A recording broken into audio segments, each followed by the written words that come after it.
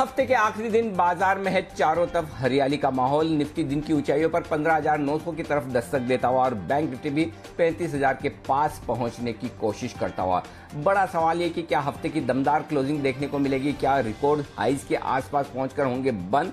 या फिर आएगी मुनाफा वसूली? अगले हफ़्ते रहेगी वायदा कारोबार की महीने की एक्सपायरी भी। ऐसे में क्या करें? आप तैयारी रहेगा। फोकस खास इसी पर। स्वागत है आप सबका। फाइनल ट्रेड में नमस्कार। मैं हूँ अनिल सिंघवी।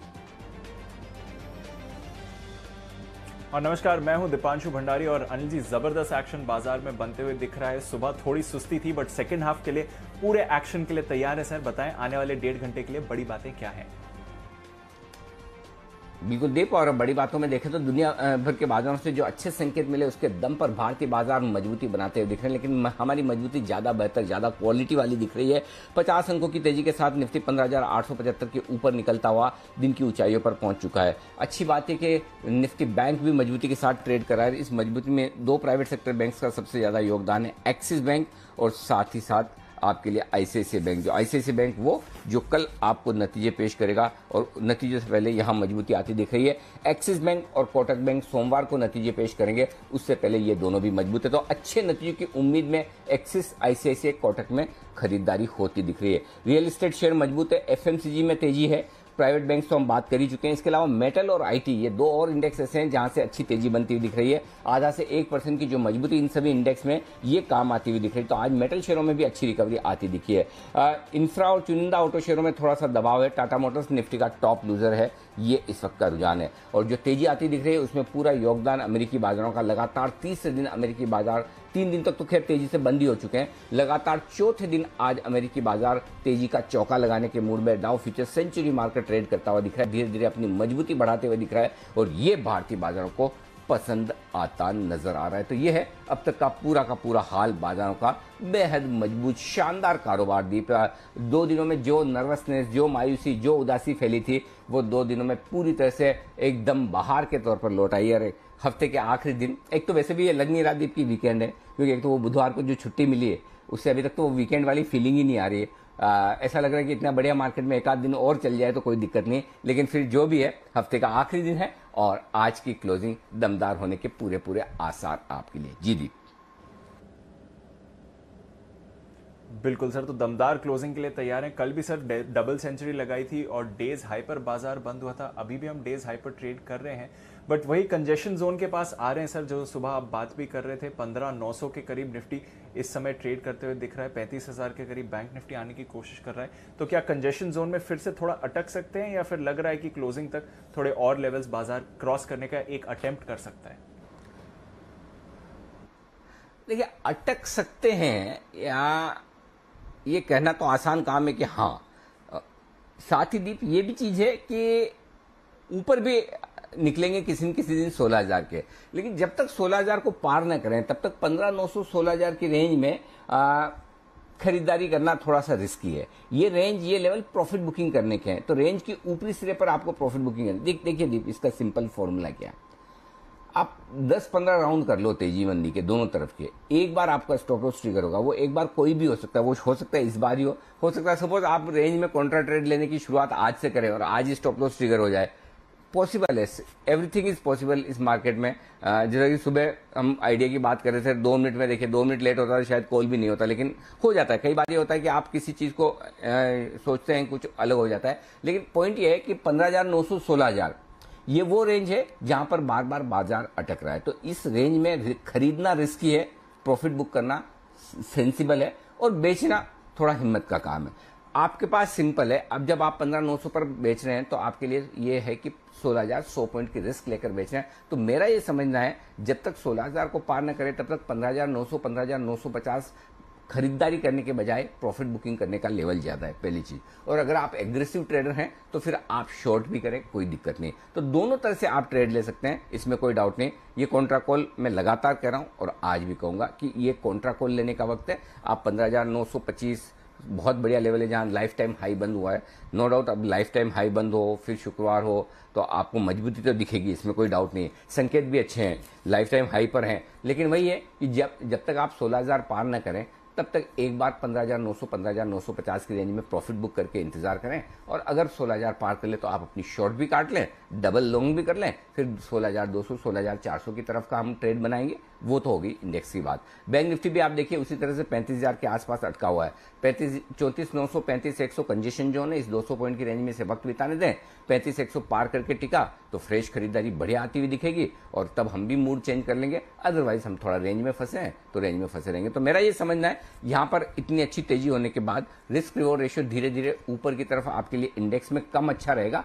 लेकिन हाँ आपके लिए फ़ायदा ये हो सकता है कि स्टॉक स्पेसिफिक तेज़ी आप अब भी कर सकते हैं। आपने सुबह देखा किस तरह से हमारे दो एक्सपर्ट्स ने रिलायंस खरीदने की राय दी, किस तरह से हमारे दो एक्सपर्ट्स ने टीसीएस खरीदने की राय दी। तो निफ्टी के जो दिग्गज शेयर है, वहाँ पर लगातार खरीदारी की राय तो स्टॉक स्पेसिफिक तेज़ी आप कर सकते हैं, कोई दिक्कत वाली बात नहीं। बाकी इंडेक्स के लिहाज से आप थोड़े रिस्की जोन में आ रहे हैं, ये ध्यान में रखना ज़रूरी है। जी।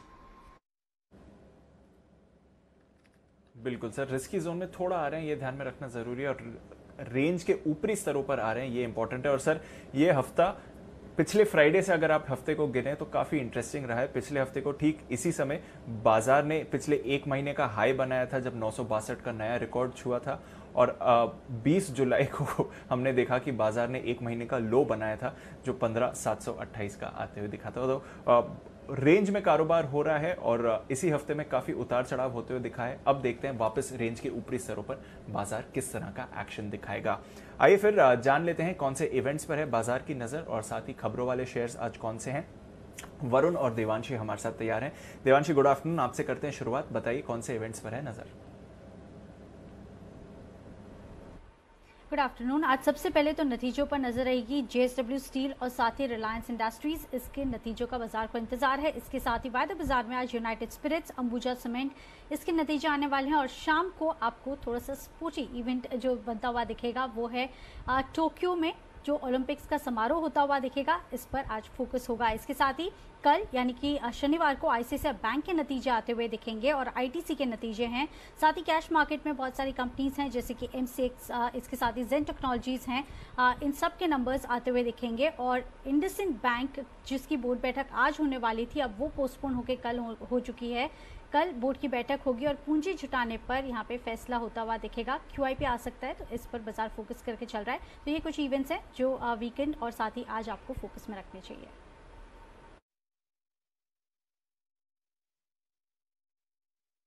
आपके लिए कुछ इंपॉर्टेंट ट्रिगर्स और इसमें ढेरों नतीजे हैं जहाँ पर आपको रखनी है नज़र। उसके दम पर बाज़ार एक्शन में भी है। आइए कुछ नतीजे जो ऑलरेडी आ चुके हैं और साथ ही आज की खबरों वाले शेयर्स कौन से हैं, इस पर भी नज़र डाल लेते हैं। वरुण हमारे साथ तैयार हैं। गुड आफ्टरनून वरुण, बताइए। Good afternoon Deep. तो सबसे बड़ा झटका तो आज टेलीकॉम कंपनीज़ को लगा क्योंकि उनकी जो याचिका थी एजीआर की रिकैलकुलेशन को, उसको सुप्रीम कोर्ट ने खारिज कर दिया है। इसका इम्पैक्ट आपने वोडाफोन पे देखा, जहाँ पे शार्प कट देखने मिला। लेकिन शार्प कट के बाद भारतीय एयरटेल में एक निचले स्तर से तेज रिकवरी भी देखने मिली है। महिंद्रा हॉलीडेज 29 जुलाई को बोनस इशू पर बोर्ड बैठक करने वाला है। रिजल्ट्स के साथ साथ इसके पहले आपको याद होगा, महिंद्रा लाइफ स्पेसेस ने यह घोषणा की थी। इसके बाद अब महिंद्रा हॉलीडेज ने भी बोनस शेयर की घोषणा की है कि वो उस पर विचार करेंगे। एनएमडीसी न्यूज़ वायर्स के हवाले से खबर आई है कि सरकार एनएमडीसी में करीब 90 लाख शेयर जो है वो बेचने की योजना बना रही है। इसके अलावा कुछ नतीजे जो है, उसमें फेडरल बैंक मुनाफा 367 क्लोज पे आया है। हमारा अनुमान 375 करोड़ का था।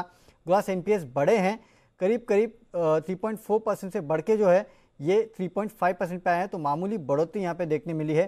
प्रोविजनिंग जो है, वो भी बढ़ी है 390 करोड़ से बढ़ के 640 करोड़ के आसपास आई है। तो यहाँ पे थोड़े हल्के नोट पे कमज़ोर नतीजे हैं। मैनन बैरिंग साल दर साल नतीजे काफ़ी बेहतर है, मुनाफा 2.8 करोड़ से बढ़ के 8.5 करोड़ पे आया है। हालाँकि क्वार्टर क्वार्टर नतीजे जो है, वो ऑलमोस्ट फ्लैट है, लेकिन ऑपरेशनल परफॉर्मेंस थोड़ा वीक है साल दर साल भी।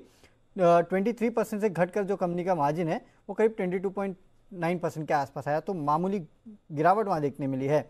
अतुल लिमिटेड, यहाँ पे मुनाफा 118 करोड़ से बढ़ के करीब 166 करोड़ पे आया तो अच्छे नतीजे साल दर साल। और वेंट, यहाँ पे मुनाफा 41 लाख से बढ़कर 6 करोड़ पे आया है तो साल दर साल इस कंपनी के भी जो नतीजे हैं, वो बेहतरीन दिख रहे हैं। बिल्कुल ज़बरदस्त नतीजे आते हुए दिख रहे हैं और ऑफकोर्स साल दर साल देखेंगे तो कई कंपनी की शानदार परफॉर्मेंस अभी एस इंडिया के भी नतीजे आए थे, जहाँ पर एक्शन है। ब्रॉडर मार्केट में बढ़िया तेज़ी है और अनिल जी एक शेयर जिस पर वापस नज़र डाल रही है डेज़ हाई पर ट्रेड करते हुए दिख रहा है जेएसडब्ल्यू एनर्जी इस पर जरा आपसे फिर से राय लूँगा, सर 235 का लेवल आ गया है, आज ही 8 परसेंट की तेज़ी है। चौदह जून को ये रिकमेंड किया था, डेढ़ सौ के करीब, वहाँ से देखें तो पचास परसेंट से ज़्यादा का उछाल आ चुका है। जेएसडब्ल्यू एनर्जी फिर से मोमेंटम में कोई फ्रेश राय सर बेचेगी वो। बिल्कुल दीप हम लगातार आप, मुझे याद है, दो दिन पहले ही आप पूछ भी रहे थे दो सौ रुपये पर भी कि क्या करना चाहिए, तब भी मेरी यही राय थी कि रखिए, आप इसे हड़बड़ी मत करिए, जल्दबाजी मत करिए।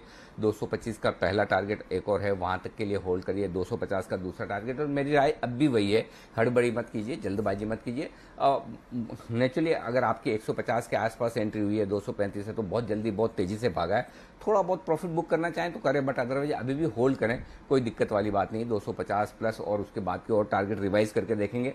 मॉडल पर डाल कर देखेंगे डेटा की कितने टारगेट और बन सकते हैं। तो 225 250 के जो टारगेट थे, वो आपके सामने आते हुए दिख रहे हैं। तो बहुत शॉर्ट टर्म इन्वेस्टर हैं प्रॉफिट बुक कर सकते हैं। बट लॉन्ग टर्म इन्वेस्टर्स के लिहाज से मुझे लगता है अब भी मौका है आपको होल्ड करना चाहिए। जेएसडब्ल्यू एनर्जी जरा चार्ट पर एक बार राय ले ली जाए। बंसल जी, देखिए जेएसडब्ल्यू एनर्जी के चार सौ दीजिए अपनी राय।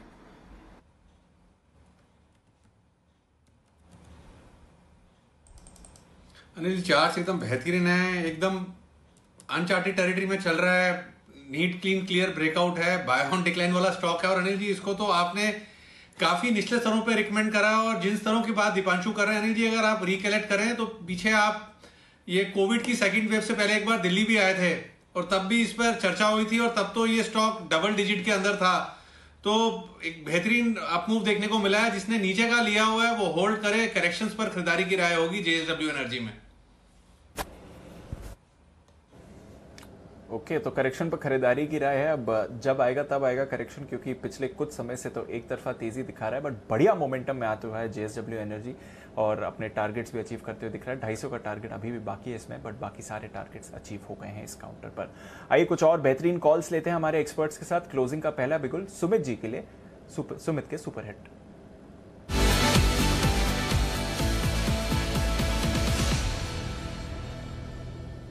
बताए सुमित जी। दिवांशु, मैं जो स्टॉक बाय दे रहा हूँ, वो सबको सुन के अच्छा लगेगा, क्योंकि स्टॉक जनरली चलता नहीं है, और आज ये चलने को तैयार है, और आज एक बहुत स्ट्रॉन्ग कैंडल फॉर्म हो रही है, और अब ये यहाँ से पक्का चलना चाहिए। स्टॉक का भाव चल रहा है दो सौ बारह रुपए पचास पैसे। स्टॉक का नाम है आईटीसी आईटीसी के अंदर आज एक बहुत स्ट्रॉन्ग कैंडल फॉर्म हो रही है दीपांशु मेरे को ऐसा लग रहा है कि ये स्टॉक यहाँ से कम से कम दस दस से पंद्रह रुपए की तेज़ी दिखाने को तैयार है। आईटीसी यहाँ पे सीएमपी पे खरीदारी करे। दो सौ पैसे का नीचे में स्टॉप लॉस लगाए डाउनवर्ड स्लोपिंग ट्रेंड लाइन का इसने आज ब्रेकआउट दिया है। रिसेंट के स्विंग हाई तोड़े हैं। पिछले दस दिनों के अंदर, पिछले सात दिनों के अंदर इसने छोटा सा फ्लैग पैटर्न का ब्रेकआउट दिखाया है। डेली चार्ट में और वीकली चार्ट में दोनों में मेरे को अच्छा लग रहा है। कोई ना कोई न्यूज़ ज़रूर आनी चाहिए आईटीसी में अब यहाँ से, क्योंकि जिस तरह की कैंडल फॉर्म हो रही है, ये महीनों के बाद ऐसी कैंडल फॉर्म हो रही है, जिसको देखते हुए लगता है कि ऊपर में इमीडिएट टारगेट बनेगा, दो रुपए का और दूसरा टारगेट बनेगा, दो रुपए का। ऑप्शन के ज़रिए भी इसमें ट्रेड लिया जा सकता है। 215 वाला कॉल अभी सीएमपी पे खरीदारी करें दो रुपए पच्चीस पैसे के आसपास ट्रेड कर रहा है। एक रुपए का नीचे पे इसमें स्टॉप लॉस लगाए ऊपर में साढ़े तीन रुपए से लेकर चार रुपए तक के टारगेट 215 के कॉल के अंदर देखने को मिल सकते हैं। और स्पॉट लेवल में दो रुपए तक के लेवल देखने को मिल सकते हैं। दो से तीन दिन का ये ट्रेड है। खरीदारी करके चलने का सलाह रहेगा आईटीसी में। आनंद जी आज तो बढ़िया दिन बनते हुए दिख रहा है बाज़ार का। बाकी सारे स्टॉक्स पार्टिसिपेट करे ना करे। आईटीसी परफॉर्म कर रहा है। नतीजों से पहले तीन परसेंट की तेज़ी आईटीसी में बनती हुई दिख रही है सर। क्या व्यू बनता है? फाइनली आईटीसी भी थोड़ा एक्शन में आते हुए दिख रहा है। आ, बिल्कुल दीप आ, मैं एक ही चीज़ कह सकता हूँ। आज सुबह का आइडिया का कॉल थोड़ा गलत हो गया और वो गलत भी मतलब एकदम से ही हो गया। तुरंत ही आ, बोलते तो जिन लोगों को आइडिया में नुकसान लगा हालाँकि बहुत सारे लोग एग्जीक्यूट कर भी नहीं पाए होंगे जब तक हम बात कर रहे थे तब तक ही खबर आ गई। तो वो लोग आईटीसी में अपने नुकसान की भरपाई कर सकते हैं। इतना मैं कह सकता हूँ कि आईटीसी मुझे इतना मज़बूत नज़र आता है। अब ये अलग बात है कि आ, ये चलने में वक्त लगाता है। वो तो हर स्टॉक का अपना अपना सिस्टम है लेकिन दो सौ रुपये के नीचे की रिस्क नहीं के बराबर है। खत्म तो कभी नहीं हो सकती, मार्केट है, कभी भी किसी भी तरह की रिस्क रहती है। लेकिन मुझे लगता है 230 240 की तरफ़ तेज़ी से बढ़ सकता है ये स्टॉक तो अगर आईटीसी आपके पास है होल्ड करिए, नहीं है तो फ्रेश खरीदारी कीजिए। जो सुमित जी कह रहे हैं, बिल्कुल हंड्रेड परसेंट मैं उनके साथ सहमत हूँ। और अगर आप होल्ड करके रखेंगे तो आपके अगर आइडिया में कोई आपको नुकसान हुआ है तो उसकी भरपाई भी हो जाएगी। अगर नहीं हुआ, तब भी आप ले लीजिए, आपको भरपाई हो जाएगी। तो लाइफ टाइम हाई पर सोलह के नज़दीक जब निफ्टी है तो तब आपके लिए स्टॉक जो सबसे ज़्यादा सेफ़ है। हो सकता है आज का जो मूव है, वो कल चूँकि नतीजे आने वाले हैं और नतीजों के पहले का मूव हो सकता है, लेकिन इरेस्पेक्टिव ऑफ़ रिजल्ट्स मुझे लगता है कि ये एक ऐसा स्टॉक है जो आपके पोर्टफोलियो में ज़रूर होना चाहिए। पेशेंस टेस्ट कर रहा है लोगों का, लेकिन ये जब रिवॉर्ड करेगा तो आपके चेहरों पर मुस्कान ज़रूर लेकर आएगा। ये मुझे भरोसा है। तो आईटीसी डेफिनेटली खरीद कर रख सकते हैं। और हमारे एक और आईटीसी बुल है कुणाल जी, जरा उनसे भी राय लीजिए। कुणाल जी आईटीसी जरा बताएँ, सर।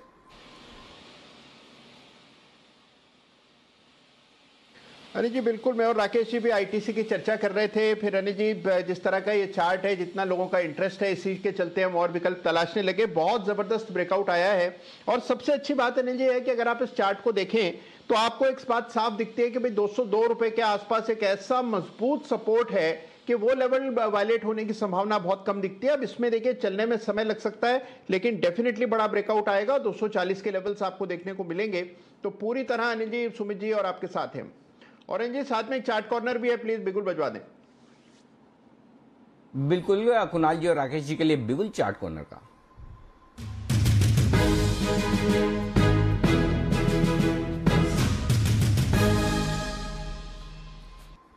बताएँ sir.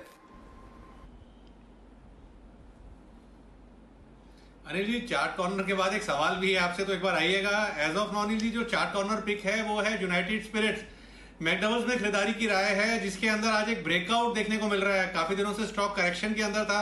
आज एक नेकलाइन को तोड़ रहा है, एक पॉजिटिव क्रॉसओवर यहाँ देखने को मिल रहा है बहुत लीडिंग और लैगिंग इंडिकेटर्स पर। Over to Kunal ji. Anil ji, देखिए, सारे लिकर स्टॉक्स में ब्रेकआउट आता हुआ दिख रहा है। ज़बरदस्त तेज़ी रेडिको खैतान में बन रही है और अब मैकडोवल्स यानी कि यूनाइटेड स्पिरिट्स की बारी है। यहाँ पर एक बुलिश फ्लैग पैटर्न का ब्रेकआउट चार्ट पर देखने को मिल रहा है। बाय करके चलना है स्टॉप लॉस रखें छह रुपए पर। 672 के स्टॉप लॉस से मैकडोवल्स में खरीदारी करें। पहला टारगेट सात रुपए का, दूसरा टारगेट सात रुपए का। तो सेवन टू फाइव के टारगेट के लिए मैकडोवल्स में खरीदारी कराएँ। 725 तक के टारगेट के लिए करें खरीदारी मैकडोवल्स, यानी कि यूनाइटेड स्टेट्स में। ये है राय आपके लिए कुणाल जी और राकेश जी की तरफ़ से आती हुई छह का स्टॉप लॉस लगाकर तेज़ी करने की राय। 705 का पहला और छोटा टारगेट आपके लिए बनकर आएगा। आइए बढ़ते आगे। कुछ और स्टॉक्स है जहाँ पर एक्शन भरपूर होता हुआ दिख रहा है। उन्हीं पर राय ली भी जाए। हम, हमारे सारे एक्सपर्ट्स हमारे साथ हैं। जैन साहब हमारे साथ जुड़ चुके हैं। विश्वेश जी भी हमारे साथ हैं। और और कौन कौन एक्सपर्ट है? वागले साहब तो है ही हमारे साथ में। और तीनों हमारे साथ है सुबीर जी भी हमारे साथ है। आइए स्टॉक्स जो एक्शन में आ रहे हैं जुबिलेंट फ़ूड पाँच परसेंट ऊपर है आज के सेशन में। वागले साहब चार्ट देखिए और राय दीजिए अपनी आ, हो सकता है जोमेटो की दमदार लिस्टिंग का भी असर और इनके खुद के अपने शानदार नतीजे रहे। जुबिलेंट फ़ूड छत्तीस रुपए के आसपास क्या करना चाहिए? पिछले दो दिनों से जो मूव आई है वो कंटिन्यू हो सकती है, लेकिन यहाँ पर फ्रेश एंट्री में थोड़ा सा कॉशन ये करूँगा क्योंकि स्टॉप लॉस आपका नहीं बैठेगा। थर्टी फोर हंड्रेड का स्टॉप लॉस बहुत लंबा है यहाँ से, लेकिन मोमेंटम कंटिन्यू हो सकता है। मुझे ये thirty seven thirty seven twenty तक जाते हुए दिखता है, लेकिन ये सिर्फ़ मूव देखा जा सकता है। इस पर प्ले करना थोड़ा सा रिस्की होगा। थोड़ा सा लंबे समय के लिए थोड़ी सी करेक्शन आती है तो लेना ठीक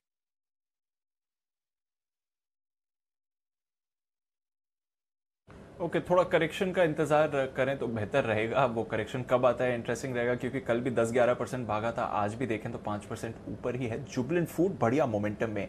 चलते हैं वापस सुमित जी के पास। एक और कॉल आ रही है उनकी तरफ़ से सुमित के super hit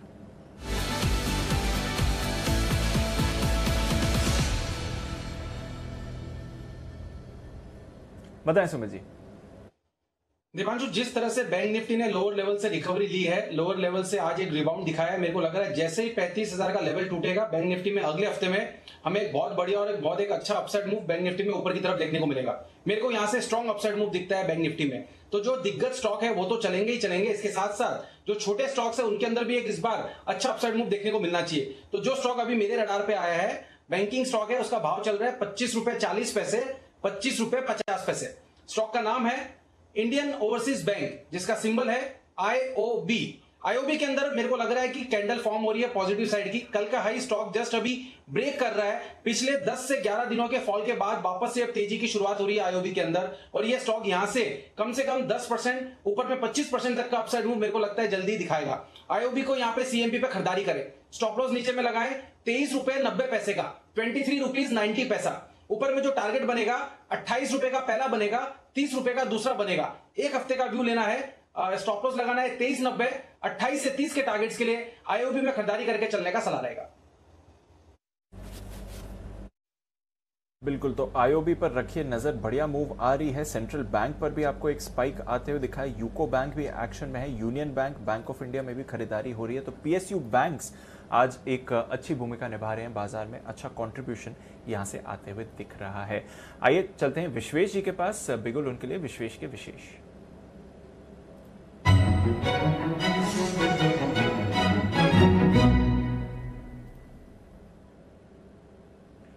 Good afternoon Vishwesh ji. बताएँ, सर।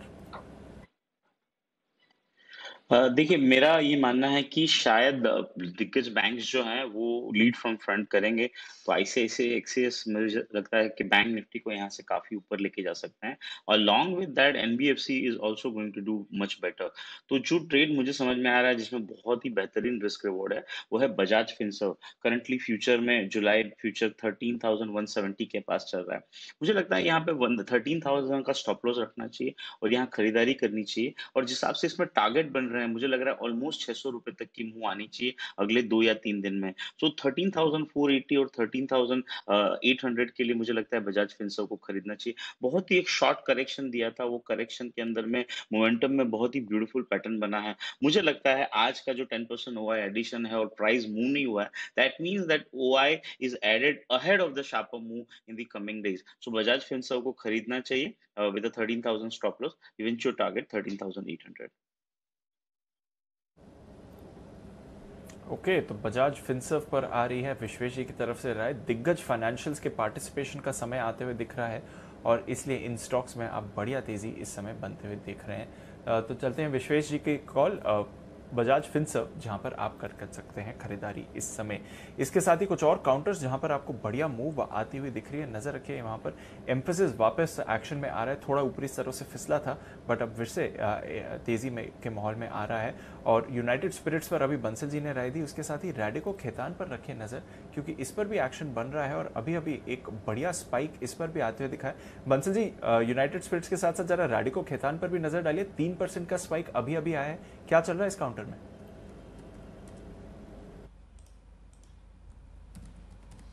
देखिए दीपांशु ये तो कंटिन्यूसली चलता ही जा रहा है जिस तरीके का टेक्निकल स्ट्रक्चर है कंटिन्यूसली रैली है नए लाइफ टाइम हाइस पे खड़ा हुआ है।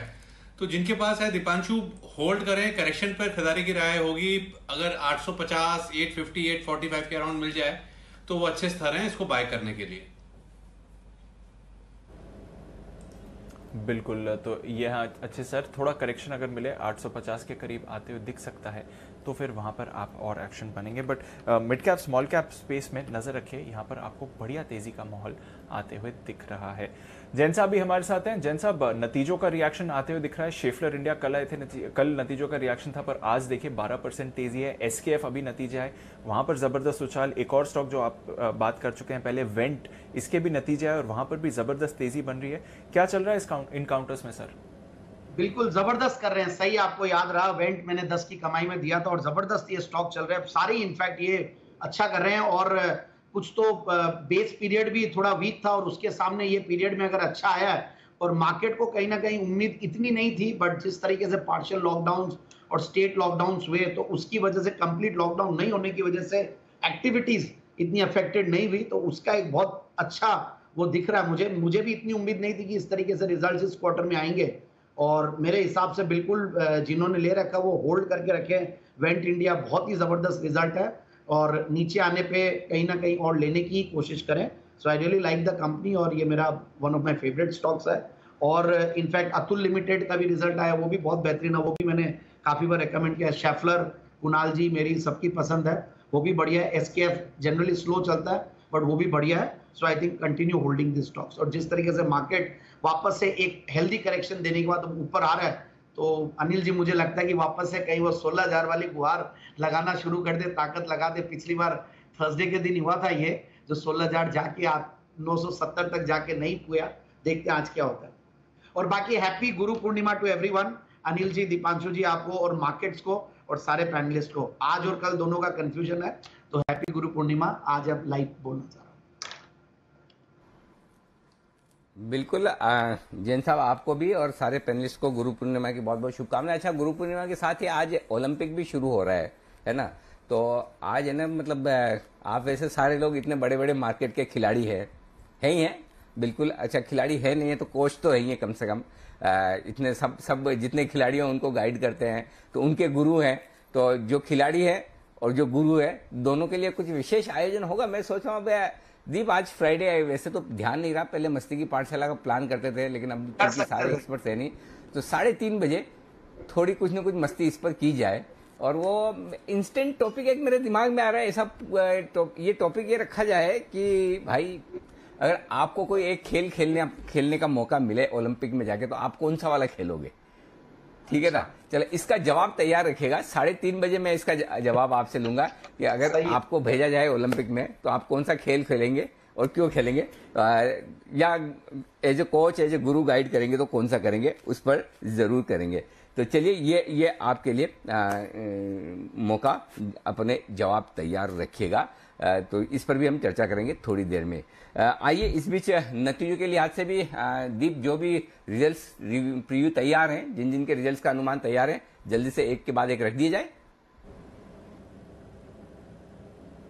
बिल्कुल सर और वरुण आशीष दोनों हमारे साथ तैयार हैं। जेएसडब्ल्यू स्टील और रिलायंस दोनों के नतीजों पर नज़र है। दिग्गज रिलायंस से करते हैं शुरुआत। वरुण बताइए क्या है इस बार बाज़ार का अनुमान? देखिए रिलायंस के नतीजे हमें कॉटन कॉटर देखनी चाहिए क्योंकि नॉर्मली वैसे ही देखा जाता है। और कॉटन कॉटर अगर आप देखेंगे तो रिलायंस के नतीजों में थोड़ा आपको ठंडापन देखने मिलेगा। अब ऐसा क्यों? क्योंकि कॉटन कॉटन जो कच्चा तेल है, उसके दाम तो बड़े हैं। इसके लिए जो कंपनी का ऑयल कारोबार है, वहाँ तो प्रदर्शन अच्छा रहने वाला है। खासकर जो ओटीसी कारोबार है, वहाँ पे अच्छा प्रदर्शन रहेगा। पेटकेम के जो मार्जिन है वो अच्छे आएँगे। हालाँकि रिफाइनिंग में थोड़ा प्रेशर रह सकता है, क्योंकि जामनगर जामनगर की जो रिफाइनरी थी, कुछ समय के लिए बंद थी तो उसका इम्पैक्ट शायद क्वार्टर पर आपको देखने मिलेगा। लेकिन बाकी पैरामीटर पर जो ऑयल का कारोबार है, वहाँ प्रदर्शन अच्छा रहेगा। तो दिक्कत कहाँ होगी? दिक्कत होगी कंपनी के रिटेल के कारोबार पे, खासकर अप्रैल और मई में जो लॉकडाउन हुए थे, उसका इम्पैक्ट देखने मिलेगा, जिसके कारण रिटेल का परफॉर्मेंस जो है, वो क्वार्टर क्वार्टर सबड्यूड रहने वाला है और इसी का इम्पैक्ट आपको कंपनी के ओवरऑल नतीजों में देखने मिलेगा। रेवेन्यूज 2.7 परसेंट गिरेंगे एबिटा मार्जिन हालाँकि बढ़ने वाले हैं 15.6 परसेंट से बढ़ के 16.2 मुनाफा 20 परसेंट गिरेगा, बारह हज़ार करोड़ के आसपास ये आ सकता है। जियो का परफॉर्मेंस पे नज़र रखना, क्योंकि स्ट्रीट पे काफ़ी लोग मान के चल रहे कि आरपूस थोड़े बढ़ सकते हैं। पिछले बार 138 के आसपास थे, इस बार 139 140 के आसपास का अनुमान लगाया जा रहा है। कुछ कह रहे हैं कि शायद गिर भी सकते हैं 137 के आसपास। इसके लिए हमने 137 से 140 की रेंज रखी है। इसके बीच में ही आएँगे। हालाँकि साल दर साल भी आप अगर आप नतीजे देखेंगे तो यहाँ पे नतीजे साल दर साल अच्छे रहेंगे, लेकिन साल दर साल मार्जिन में गिरावट होगी और मुनाफा भी गिरेगा। करीब नौ, साढ़े नौ परसेंट गिरेगा। वो इसलिए कि पिछले साल इसी क्वार्टर में पाँच हज़ार करोड़ के आसपास की अतिरिक्त आय थी। तो भले साल दर साल हो कॉटन क्वार्टर हो यहाँ पे नतीजे थोड़े हल्के सबड्यूड रहने वाले हैं खासकर कॉटन क्वार्टर आप इन नतीजों को देखिएगा जहाँ पे रिटेल का कारोबार जो है वो थोड़ा प्रेशर में रहेगा। ओके okay, तो यह है आपके लिए रिलायंस इंडस्ट्रीज़ और देखते हैं किस तरह के रहते हैं नतीजे। नतीजों से पहले स्टॉक में थोड़ी जान आती हुई दिखी है। एक और काउंटर जो काफ़ी एक्टिव रहा है नतीजों से पहले जेएसडब्ल्यू स्टील कैसे रहेंगे? इसके नंबर से आइए जानते हैं आशीष के साथ। आशीष बताइए। दिवांशु बहुत दमदार नतीजे देखने को मिलेंगे। पिछले साल के मुकाबले तो देखिए, छोटे बेस का बेनिफिट देखने को मिलेगा। पिछले साल करीब पाँच करोड़ का जो है घाटा दर्ज किया था कंपनी ने। इस बार भारी भरकम पाँच हज़ार सत्तावन करोड़ का मुनाफा दर्ज करेगी कंपनी और क्योंकि कीमतों में लगातार बढ़त देखने को मिली है, इसके चलते स्वाभाविक है कि मार्जिन में भी आपको बढ़िया एक्सपांशन देखने को मिलेगा। 11.4 परसेंट से बढ़कर 35.8 परसेंट रहेंगे इनके बेटा मार्जिन कामकाजी मुनाफा देखिए, तेरह करोड़ से बढ़कर नौ हज़ार छह सौ तीस करोड़। टॉप लाइन में 128 परसेंट का इजाफा देखने को मिलेगा। सिर्फ़ इतना ही नहीं, देखिए, साल दर साल तो पता ही है सबको कि नतीजे काफ़ी दमदार देखने को मिलेंगे।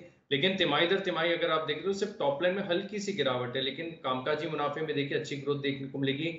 मार्जिन तिमाही दर तिमाही इकतीस परसेंट से बढ़कर छत्तीस परसेंट रहेंगे। मुनाफा चार हज़ार एक सौ अट्ठानवे करोड़ से बढ़कर पाँच हज़ार सत्तावन करोड़, जैसे कि मैंने आपको बताया। और एबिटा प्रति टन के लिहाज से भी अगर आप देखें तो वाई एन वाई भी ग्रोथ नज़र आएगी और क्यू ऑन क्यू भी अगर आप देखें उन्नीस हज़ार सात सौ छप्पन रुपए से बढ़कर पच्चीस हज़ार नब्बे रुपए प्रति टन के आसपास देखने को मिलेगा। तो यानी सेल्स वॉल्यूम केवल तिमाही दर तिमाही करीब 11 प्रतिशत की गिरावट दिखाएगी। बाकी हर लिहाज से अगर आप देखें तो नतीजे काफ़ी बढ़िया आएँगे। ओके okay, तो ये है आपके लिए जेएसडब्ल्यू स्टील तो रिलायंस जेएसडब्ल्यू स्टील दोनों दिग्गजों के आने वाले हैं आज नतीजे। बाज़ार बंद होने के बाद देखते हैं फिर मंडे को बाज़ार में इसका कैसा रिएक्शन रहेगा। नतीजों का तो इंतज़ार है ही, पर कुछ बढ़िया कॉल्स भी आ रही है हमारे एक्सपर्ट्स की तरफ़ से। अनिल जी की स्ट्रैटेजी लें, उससे पहले एक बार चलते हैं। राकेश जी, कुणाल जी के पास उनकी स्पेशल पिक के लिए।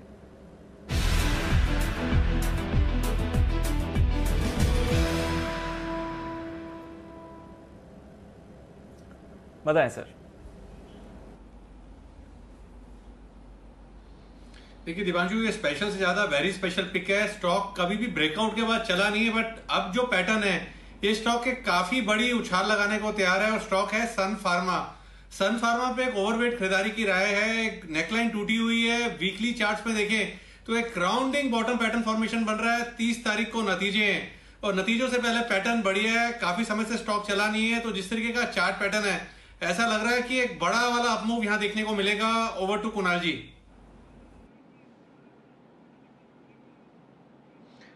देखिए, बहुत ही ज़बरदस्त चार्ट है। दीपांशु स्टॉक काफ़ी समय से शांत रहा है, लेकिन अभी अपनी चुप्पी तोड़ करके वापस से तेज़ी दिखाने के लिए तैयार हो रहा है। तो इन स्तरों पर बाय करके चलें। बिल्कुल मौके पर हम खरीदारी की राय दे रहे हैं। यहाँ पर एक बहुत छोटा सा स्टॉप लॉस रख लें 690 का। छह रुपए के स्टॉप लॉस से बाय करें। पहला टारगेट सात सौ बीस रुपए का, दूसरा टारगेट सात सौ पैंतीस रुपए का। तो सेवन थर्टी फाइव तक का मूव आपको सनफार्मा में जल्द आता हुआ दिखेगा। ओके तो ये है आपके लिए राय इस वक्त सन फार्मा पर खरीदारी करने के लिए आज से। कुणाल जी और राकेश जी की स्पेशल पिक आज के लिए 690 का स्टॉप लॉस और साथ ही साथ ऊपर के टारगेट 720 और 735 के आते हुए दिख रहे हैं। आइए, आते हुए दिख रही एक बड़ी खबर और ये बड़ी खबर जुड़ी हुई विनिवेश से। हमारे संवाददाता चेतन भूटानी हमारे साथ इस वक्त कार्यक्रम में हो रहे हैं शामिल, जिनके पास है ये बड़ी खबर। चेतन, बताइए क्या है खबर? किन शेयरों को लेकर, किन कंपनियों को लेकर है खबर? सर देखिए, हम काफ़ी टाइम से सुन रहे थे इंडियन ओवरसीज बैंक और सेंट्रल बैंक ऑफ़ इंडिया के प्राइवेटाइजेशन पे काफ़ी डेवलपमेंट्स पिछले महीने, जून के अंत के दिनों में हुई थी। लेकिन आज जो हम खबर ब्रेक करने जा रहे हैं बिज़नेस पे, ये एक बहुत महत्वपूर्ण खबर है इंडियन ओवरसीज बैंक और सेंट्रल बैंक ऑफ़ इंडिया के प्राइवेटाइजेशन पे।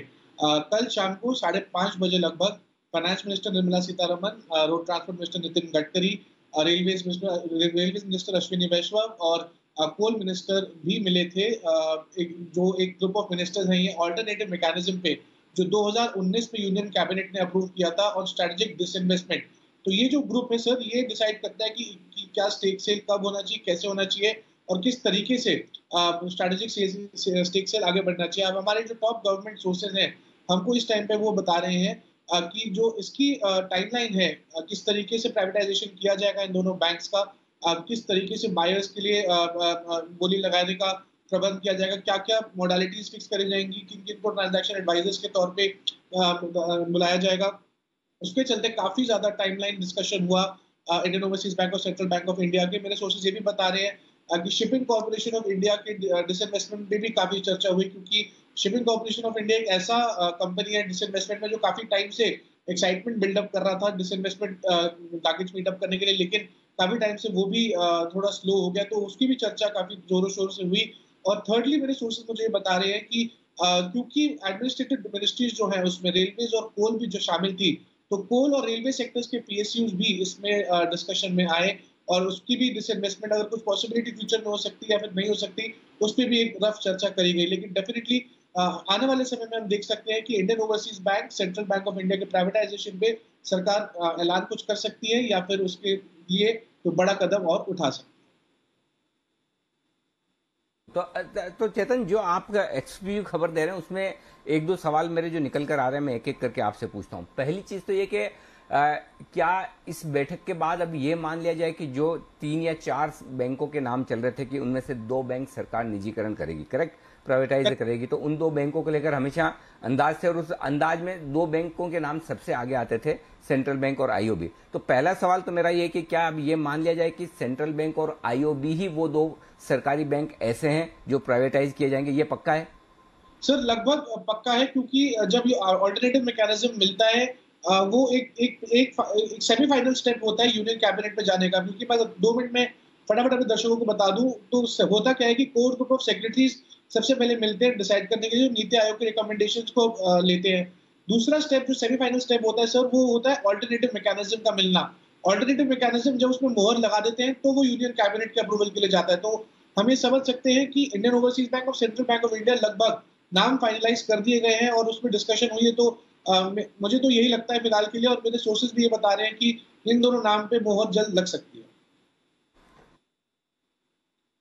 तो सबसे पहली और इम्पोर्टेंट चीज़ तो ये कि ये लगभग लगभग फाइनल है कि सेंट्रल बैंक और आईओबी दो कम बैंक्स का निजीकरण किया जाएगा। तो अगर निजीकरण इन दोनों बैंक का होता है तो फिर इन बैंकों के लिए री रेटिंग होने की पूरी पूरी संभावना है। और डी इसलिए संभावना है, चेतन आप रुकिएगा, मैं, मुझे मुझे आपसे कुछ और भी पूछना है। लेकिन उससे पहले जो आप ये बात बता रहे हैं, उसका एक बार विश्लेषण कर दिया जाए कि ये संभावना इसलिए सबसे बड़ी क्योंकि आज की तारीख में बैंकों का लाइसेंस लेना बहुत मुश्किल काम है, आसान काम है नहीं। और आरबीआई ने शायद कहीं ना कहीं ये मन बना रखा है, ये डिसाइड कर रखा है कि बजाय नए लाइसेंस देने के, जो पुराने बैंक है, चाहे वो प्राइवेट सेक्टर के हो, चाहे पब्लिक सेक्टर के हो, जिन्हें चलाना चलाना मुश्किल होता हुआ दिख रहा है, जैसे लक्ष्मी विलास बैंक था। तो बेहतर है कि उन्हीं के लिए किसी नए जो, जिस, किसी को लाइसेंस चाहिए, वही बैंक उन्हें दे दिए जाए। तो ऐसे में जिनको लाइसेंस लेने हैं, उनके पास ज़्यादा बेहतर, ज़्यादा फास्ट तुरंत ऑप्शन ये है कि जो बैंक अगर प्राइवेटाइज हो रहे हैं, जिन्हें बेचा जा रहा है, उनके लाइसेंस है तो इन दोनों बैंक्स की इसके दम पर पूरी री रेटिंग होने की संभावना है, पहली चीज़ तो ये होगी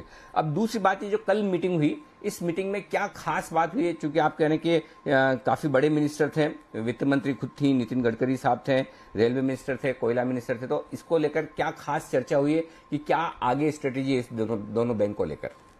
सर 2019 में यूनियन कैबिनेट जो cabinet committee on economic affairs है उस उन्होंने डिसइन्वेस्टमेंट को फास्ट ट्रैक करने के लिए ये कमेटी बनाई थी जिसको ऑल्टरनेटिव मैकेनिज्म का नाम दिया गया था। अब क्योंकि इसके हर चार से पाँच महीने में मिलने की बहुत ज़रूरत होती है क्योंकि स्ट्रेटेजिक स्टेक सेल एक ऐसी चीज़ है डिसइन्वेस्टमेंट एक ऐसी चीज़ है जिसमें गवर्नमेंट अपना फोकस पूरा लगाने में लगी हुई है क्योंकि उससे काफ़ी पैसा भारत सरकार के, के खाते में आएगा। लेकिन जो सोर्सेज मुझे बता रहे हैं कि जो कल की मीटिंग तो लगभग लगभग डेढ़ घंटा मीटिंग चली क्योंकि वो मीटिंग साढ़े छह बजे तक खत्म हो जानी थी, लेकिन वो सात, सवा सात तक ही सब मंत्री मंत्री का जो समूह है वो बाहर निकल पाया। तो डेफिनेटली हम इस बात से गौज कर सकते हैं कि काफ़ी एक्सटेंसिव डिस्कशन रही होंगी किन किन मुद्दों पे क्या क्या किस तरीके से फास्ट ट्रैक करना चाहिए डिसइन्वेस्टमेंट टारगेट्स को और डिसइन्वेस्टमेंट की स्ट्रेटेजिक स्टेक सेल को भी इनफैक्ट तो डेफिनेटली सर मेरे सोर्सेज मुझे बताते हैं कि काफ़ी इन डेप्थ डिस्कशन हुई थी डिसइन्वेस्टमेंट के मैटर्स को पर्टिकुलरली लेकर और डिसइन्वेस्टमेंट को तेज तरीके से लेके जाने के तरीके के ऊपर भी।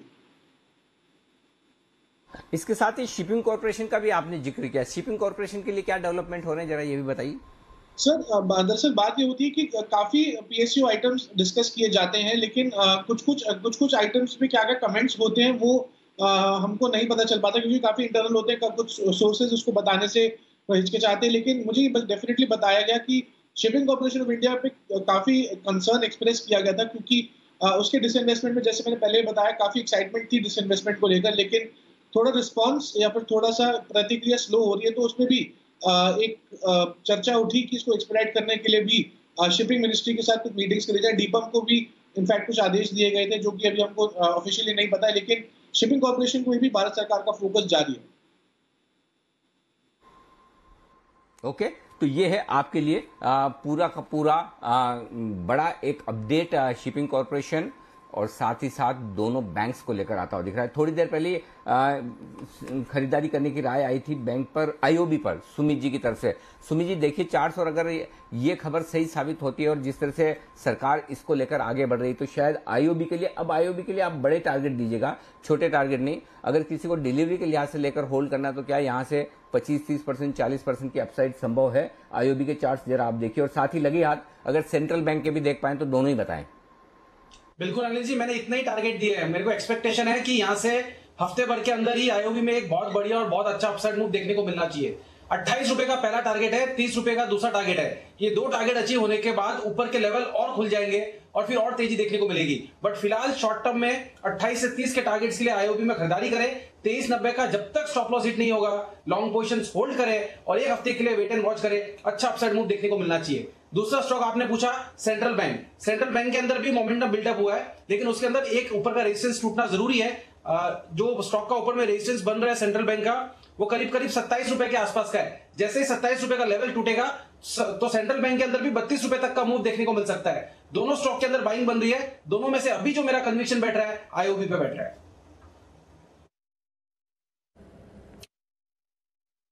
की संभावना है और यहाँ से और मजबूती हो सकती है। और ज़ाहिर सी बात है, आपका कनेक्शन आईओबी में ज़्यादा है और आईओबी इसलिए ज़्यादा तेज दौड़ लगाता हुआ भी एक और स्टॉक है, उस पर भी एक बार राय ली जाए कुणाल जी, जरा शिपिंग कॉर्पोरेशन पर भी राय दीजिए। ये स्टॉक थोड़ा ठंडा है, आधा परसेंट मज़बूत है, इसके चार्ज बताएँ।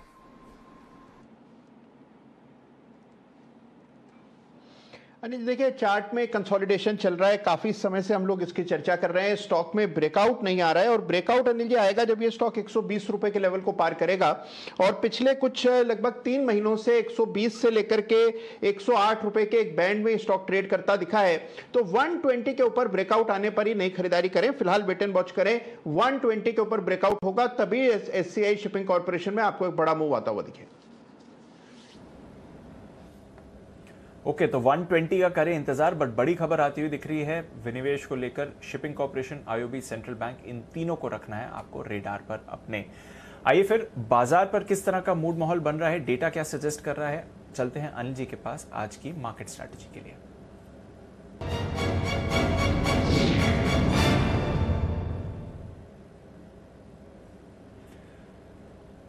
अनिल जी, हफ़्ते की शुरुआत और हफ़्ते की एंडिंग में बहुत बड़ा मूड माहौल में बदलाव होते हुए दिख रहा है। यूएस के बाज़ार, देखिए फ्यूचर्स लगातार चौथे दिन आपको तेज़ी में इस समय ट्रेड करते हुए दिख रहे हैं। डाउ फ्यूचर्स इस समय 120 सवा सौ अंक ऊपर, बल्कि अब तो 135 अंक ऊपर दिख रहे हैं सर। डेज़ हाई पर वहाँ पर कारोबार हो रहा है। नैसडेक फ्यूचर्स में आधे परसेंट की तेज़ी और पंद्रह हज़ार का स्तर नैसडेक फ्यूचर्स ने अभी अभी छुआ है सर। तो वहाँ पर बढ़िया एक्शन बन रहा है। यूरोप में भी अच्छी शुरुआत हुई है। पौन परसेंट की तेज़ी आप यूरोप के बाजारों में देख रहे हैं। एशिया में आज सुस्ती थी और वो इसलिए था क्योंकि चीन ने जो डिजिटल कंपनीज़ में पिछले कुछ हफ्तों में एक्शन बढ़ाया है, उस पर कुछ और सख्ती भी करी है जिसकी वजह से हांगकांग और चाइना दोनों ही कमज़ोरी के साथ बंद हुए। जापान के बाज़ार आज बंद थे। तो बताएँ सर ग्लोबल मार्केट्स तो काफ़ी पॉजिटिव है डेज़ हाई पर है अमेरिकी फ्यूचर्स क्या करना चाहिए? दीप देखिए बा, बाकी सब कुछ ठीक है कोई दिक्कत नहीं। तीन दिनों से अमेरिका में तेज़ी चौथे दिन भी होने के पूरे आसार हैं। पॉइंट सिंपल यही कि हम डे लाइक मतलब हम जो ट्रेडिंग रेंज है, उसके हाई एंड के आसपास है। पंद्रह हज़ार नौ सौ, पंद्रह हज़ार नौ सौ पचास ही वो रेंज है जहाँ पर बार बार रुकते हैं, अटकते हैं। तो मेरा ये मानना है कि जो कुछ नया फ्रेश ट्रेड लेना होगा, वो मंडे के दिन लेंगे, ज़्यादा बढ़िया है। अब इस तरह के मार्केट में शॉर्ट करना तो वैसे कम समझ में आता है, लेकिन एटलीस्ट प्रॉफिट बुकिंग तो आप कर ही सकते हैं। तो प्रॉफिट बुकिंग करें, या फिर पुट खरीद कर आप अपनी पोजिशन को हेज करके चले। डेटा क्या कह रहे हैं वो बता दूँ। पहली चीज़ तो ये कि अब डाउन साइड रिस्क आपकी पंद्रह के नीचे की नहीं है, क्योंकि पंद्रह के पुट पर चौहत्तर लाख शेयरों का ओपन इंटरेस्ट है और वो हाईएस्ट है। तो पंद्रह पर आपके लिए स्ट्रॉन्ग सपोर्ट हो गया। तो सोमवार के लिए भी आपके लिए रिस्क पचहत्तर सौ पॉइंट से ज़्यादा की नहीं है। पहली चीज़ तो ये होगी। 15,800 के कॉल पर भी तिरपन लाख शेयर हैं। तो जैसे आप 15,800 के नज़दीक पहुँचेंगे तो आपको कॉल राइटर्स भी शॉर्ट कवरिंग का सहारा देते हुए दिखेंगे। तो पहली चीज़ ये कि 15,800 आपके लिए सपोर्ट का काम कर लेगा। ऊपर में 15,900 हल्की रुकावट का लेवल है जहाँ 45 लाख शेयर का ओपन इंटरेस्ट है। इसलिए बार बार आप वहाँ पर जाकर रुक रहे हैं। 16,000 आपसे पार नहीं होगा।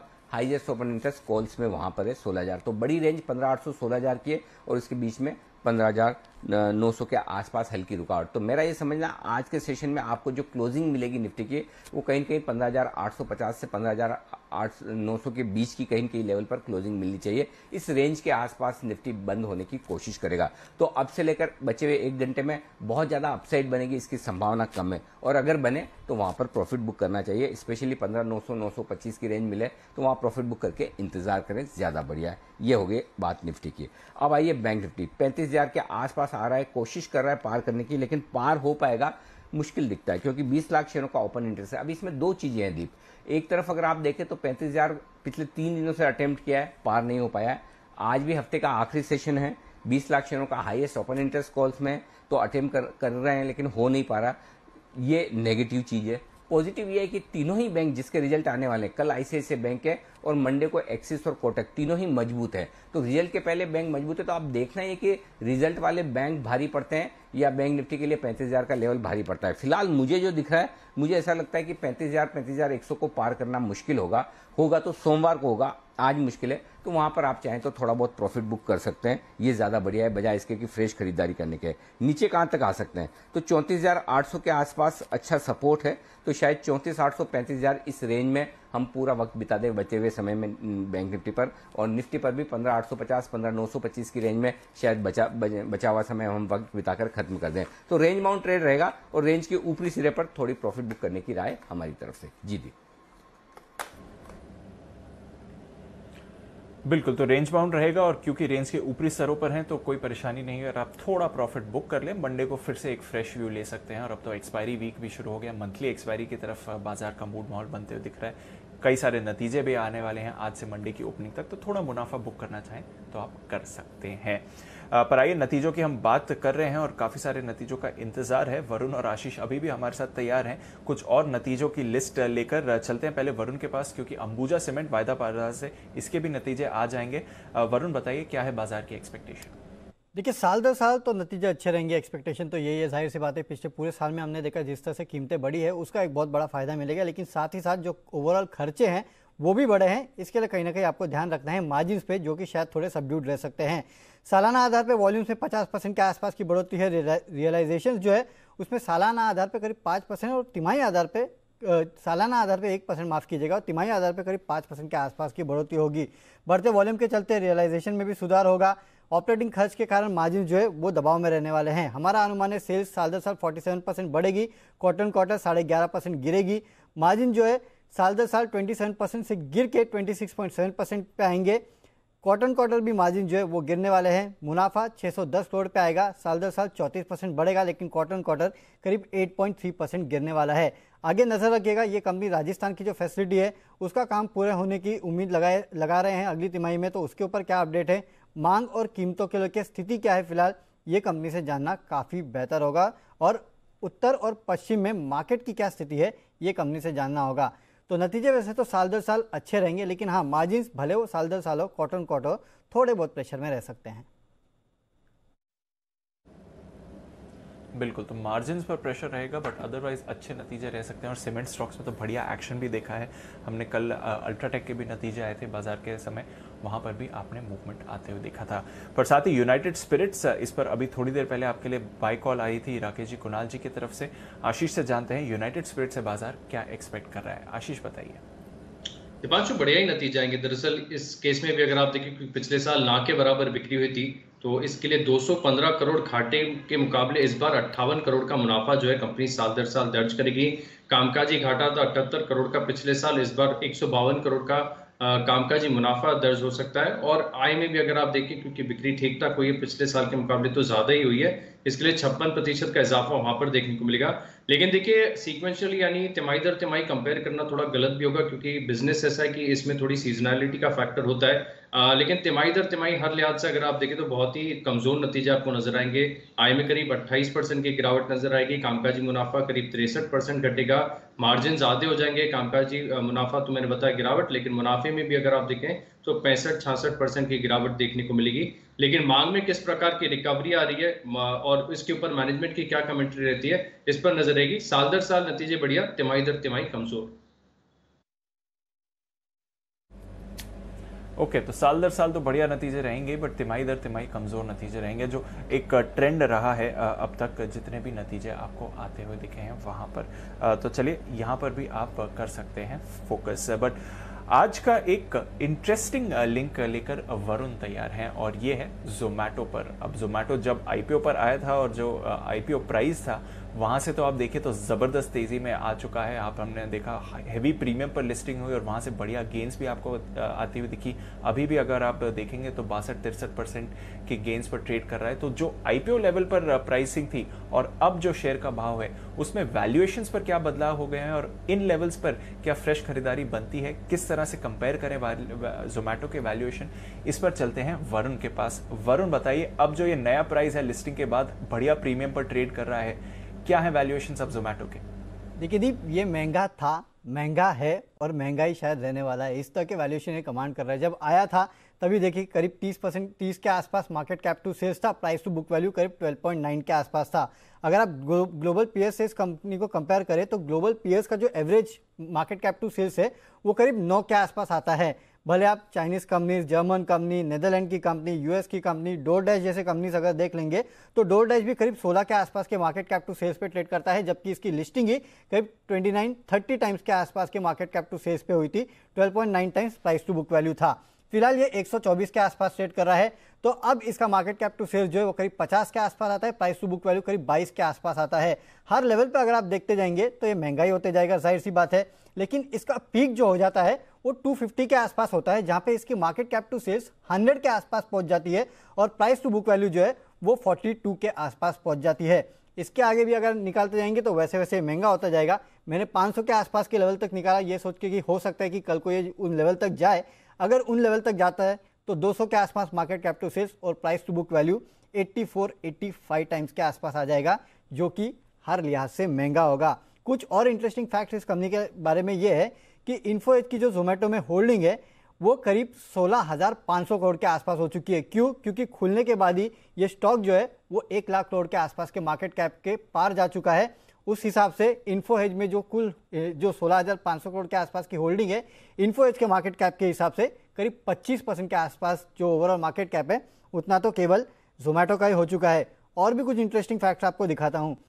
जुबिलेंट फूडवर्क्स ये इसका नियर टर्म जो कॉम्पिटिटर है जो पिज़्ज़ा बेचता है, पिज़्ज़ा बनाने वाले से पिज़्ज़ा बेचने वाला या फिर डिलीवरी करने वाला ज़्यादा महँगा हो चुका है। 2.2 टाइम्स ऑफ़ जुबिलेंट फूडवर्क्स के मार्केट कैप पे ट्रेड करता है हीरो मोटोकॉप जिसकी व्हीकल ये यूज़ करते हैं, उससे 1.7 टाइम्स ज़्यादा ये ट्रेड कर रहा है।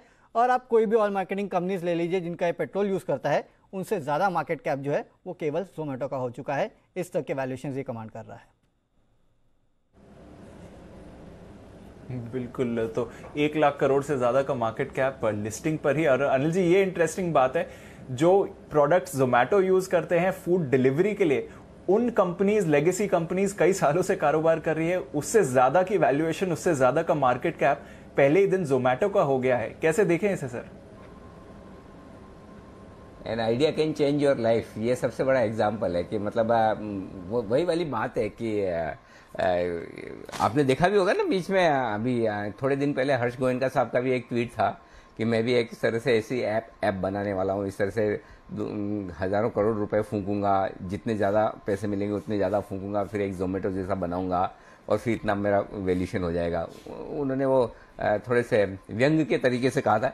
अब वो वो, ये ये मिसमैच हमेशा रहेगा, दीप। देखिए अल्टीमेटली क्या है कि ज़माना बदल रहा है हर एक का अपना तरीका इन्वेस्ट करने का, पसंद करने का करेक्ट हमारे से दो जनरेशन पहले जाएँगे, मेरे से दो जन तो कोई मतलब है ना इवन बैंक में भी पैसा कम लगाते थे एफडी वगैरह। उस जमाने में तो खाली प्रॉपर्टी और गोल्ड दो के अलावा तीसरा इन्वेस्टमेंट नहीं होता था।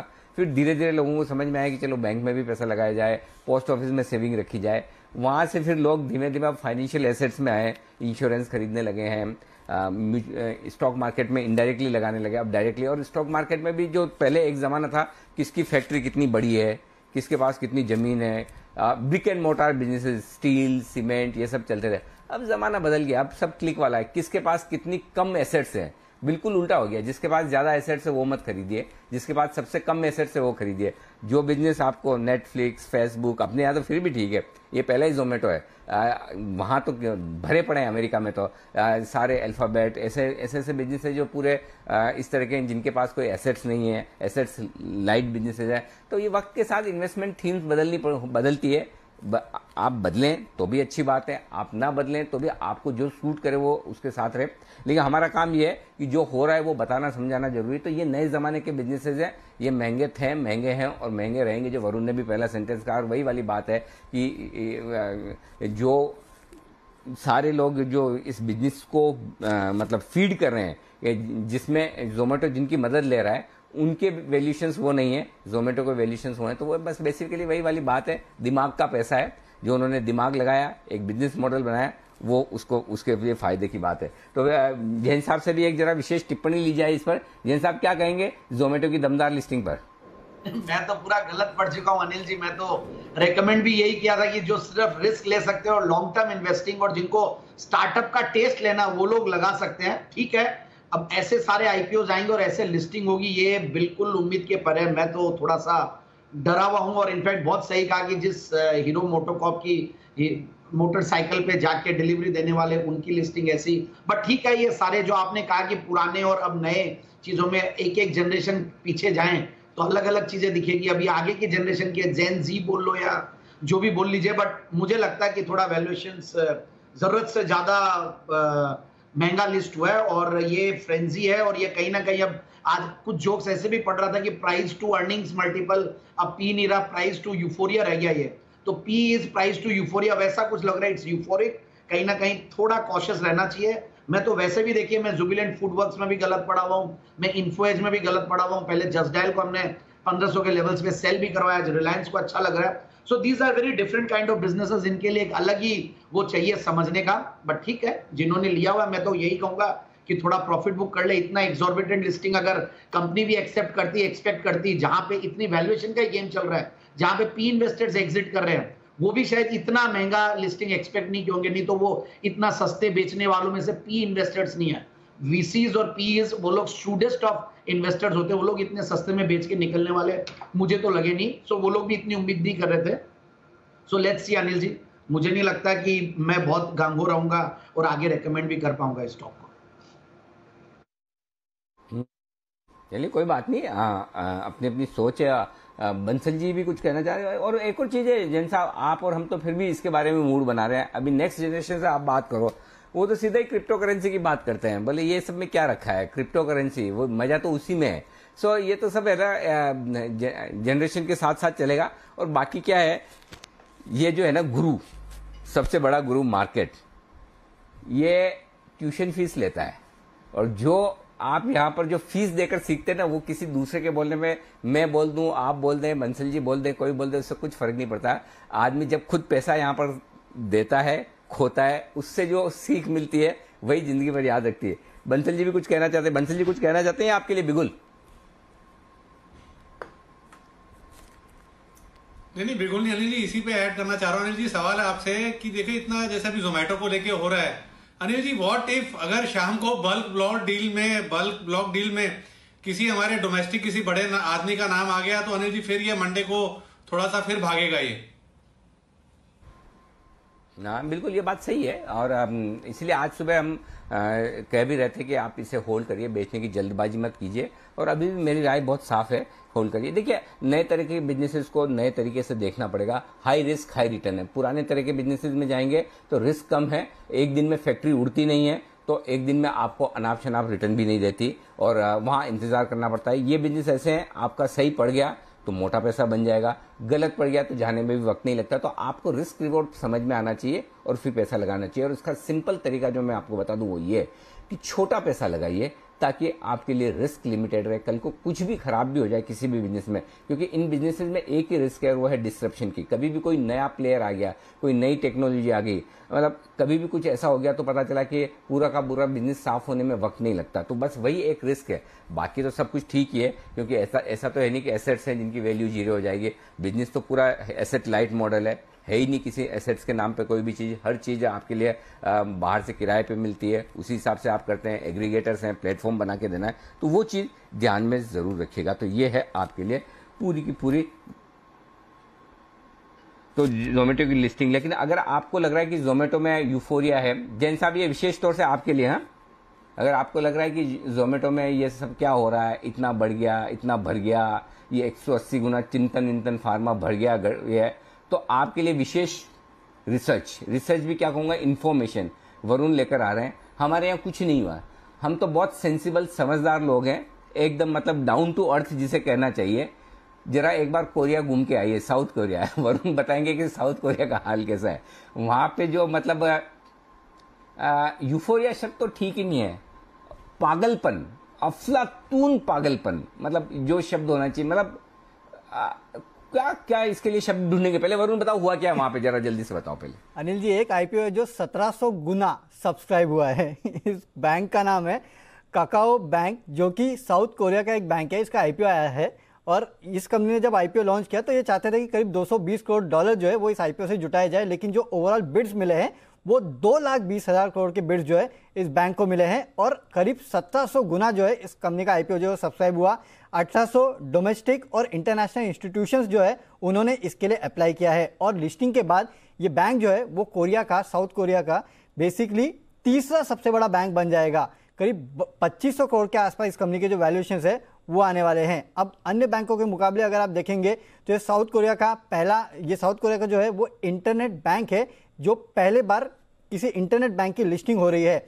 अगर आप वैल्यूएशन के लिहाज से देखेंगे तो आईपीओ के वैल्यूएशन के मुताबिक काकाओ बैंक का जो वैल्यूएशन है प्राइस टू बुक वैल्यू पे 7.3 टाइम्स के आसपास है, जबकि साउथ कोरिया के बाकी बैंक जो है 0.5 टाइम्स के आसपास ट्रेड करते हैं। अब इस बैंक में ऐसा क्या है, वो भी आपको समझना होगा। देखिए, ये सबसे बड़ा डिजिटल बैंक है साउथ कोरिया का, और ऑनलाइन मैसेजिंग में कंपनी जो है काकाओ ऐप का हिस्सा है। चीन में एंड ग्रुप जो है, उसका इस कंपनी में 45 परसेंट के आसपास का हिस्सा है। सिर्फ़ चार चार चार साल में 2017 में बैंक शुरू हुआ था और तब से अब तक इस कंपनी ने जोरदार ग्रोथ देखी है। 1.6 करोड़ कस्टमर है इस बैंक के पास, यानी कि साउथ कोरिया की कुल आबादी के करीब 32 परसेंट के आसपास कस्टमर जो है, वो इस कंपनी के पास है। और 14 से 19 एज ग्रुप में करीब 40 परसेंट के आसपास का मार्केट शेयर जो है, ये बैंक रखता है। नो no डाउट नया बैंक है, नई टेक्नोलॉजी है, काफ़ी बड़ा मार्केट शेयर है, लेकिन जिस तरह से इस कंपनी को वैल्यूएशन दिए जा रहे हो जिस तरह से आईपीओ में रिस्पांस मिल रहा है वो तो यू नो गजब है। 1700 गुना सब्सक्राइब होना अपने आप में एक चमत्कार है। सत्रह सौ गुना? मेरे ख्याल से ये अब तक का दुनिया का सबसे ज़्यादा रिस्पॉन्स वाला आईपीओ है। सही बात है अनिल जी। अब तक सुना ही नहीं था कभी 1700 गुना 200 300 गुना के ऊपर कभी नहीं सुना था। ये तो 1700 है। जागो इन्वेस्टर जागो। हमारे यहाँ तो कुछ भी नहीं हुआ है। देखो हाँ तो भाई जैन साहब अब अब आपको लग रहा है जोमेटो ठीक है जोमेटो में क्या है ऐसा क्या कौन सा यूफोरिया कुछ नहीं है। अब बताओ। भाई चमत्कार को नमस्कार है अनिल जी अब क्या करें हम तो? वो यही है कि बाकी सब ओपिनियन है मार्केट इज़ द गुरु और आज गुरु पूर्णिमा है मार्केट को सलाम। बाकी तो बस यही है सब ऐसे रहेंगे हमारे हिसाब से चलेंगे। हम्म, बिल्कुल बिल्कुल ठीक बात है और ये जो यूफोरिया जी जी जी जी जैन साहब पहले बोलिए। जी बोलिए। तो कैपिटल मार्केट्स वो बहुत डेवलप कैपिटल मार्केट्स है। ऐसा नहीं है वहाँ की ब्रोकिंग इंडस्ट्री हमारी एक बार हमारी एसोसिएशन साउथ कोरिया गई थी वहाँ की इंडस्ट्री को स्टडी करने के लिए। और वहाँ पे बहुत कम ब्रोकर्स काम करते हैं। इंडिया की तरफ़ बहुत सारे ब्रोकर्स नहीं होते हैं। और वहाँ पे बहुत कम ब्रोकर्स और बहुत ही मज़बूत और बड़े इंस्टीट्यूशनल टाइप के ब्रोकर्स होते हैं। और ओवरऑल वहाँ पे इस तरीके का जो ये आया है जन सैलाब जो बोलूँगा मैं ये एक्चुअली एक्स्ट्रा मतलब 1700 गुना मतलब डरावना है मतलब ये कहीं ना कहीं हम सबको एक कहीं ना कहीं क्लू लेना चाहिए कि थोड़ा डरे हैं, बहुत ज़्यादा इक्विटी इक्विटी कल्ट हो रखा है चारों तरफ़। तो कॉशियस रहने का समय ऐसा लगने लग गया कि आया हर बड़े आईपीओ के बाद कोई ना कोई कांड होता है, ऐसा मैं तो कई सालों से देखते आया हूँ, क्योंकि ये एक बहुत अच्छा बैरोमीटर होता है रिटेल इन्वेस्टर्स का। So let's see what happens but yes we have to be cautious Indian investors मुझे लग रहा है कि अब काफ़ी स्मार्टर हो गए और अच्छे आईपीओ में लगाते हैं। लेट्स सी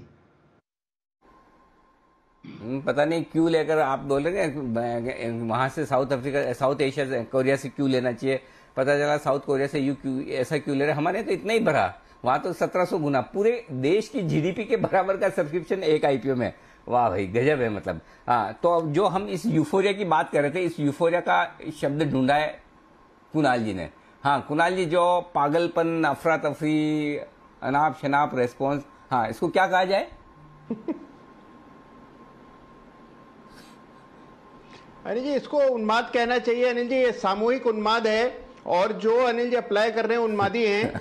तो अनिल जी बिल्कुल उन्माद है। अनिल जी एक टिप्पणी मैं जोमेटो पर करना चाहता हूँ अगर वक्त हो अनिल जी। जी जी बिल्कुल। अरे इसी के लिए वक्त और किसके लिए है बाकी? बताइए। अनिल जी देखिए जोमेटो को लेकर के अनिल जी बहुत सारे लोग परेशान हैं। मैं कई लोगों से मिला जिनका ये कहना है कि भाई जोमेटो बहुत ओवर वैल्यूड है। आपने अनिल जी वो देखा भी होगा कि कई सारी कंपनियों का वैल्यूएशन जोड़कर जोमेटो से कंपेयर किया गया है। अनिल जी, वो बातें सब ठीक है। अनिल जी, जब मैंने अपना करियर शुरू किया था, उस जमाने में अनिल जी सब चीज़ों का मूल्यांकन डिविडेंड से होता था। कंपनियों में शेयर में निवेश इंसान इसलिए करता था कि कंपनियाँ डिविडेंड देंगी। आज अनिल जी कोई डिविडेंड की चर्चा भी नहीं करता। उसी तरह अनिल जी, आज हम लोग निवेश करते हैं कि कंपनी मुनाफा करेगी। तो अनिल जी, अब मुनाफा भी उसी तरह का हो गया है, जिस तरह का डिविडेंड है। फोकस करना है मार्केट शेयर पर। तो जिस तरह की ग्रोथ जोमेटो में होगी अनिल जी, ये वजह है इस तरह के वैल्यूशन की। तो जो लोग नाराज़ हो रहे हैं कि बाज़ार में यूफोरिया है या ये जो है उन्माद है, मुझे लगता है कि थोड़ा सा नई तरह से सोचना चाहिए, अनिल सही जवाब। एकदम। बिल्कुल सही बात है। वक्त बदल रहा है, चीज़ें बदल रही है और बदलते वक्त के साथ आपको ये देखना पड़ेगा।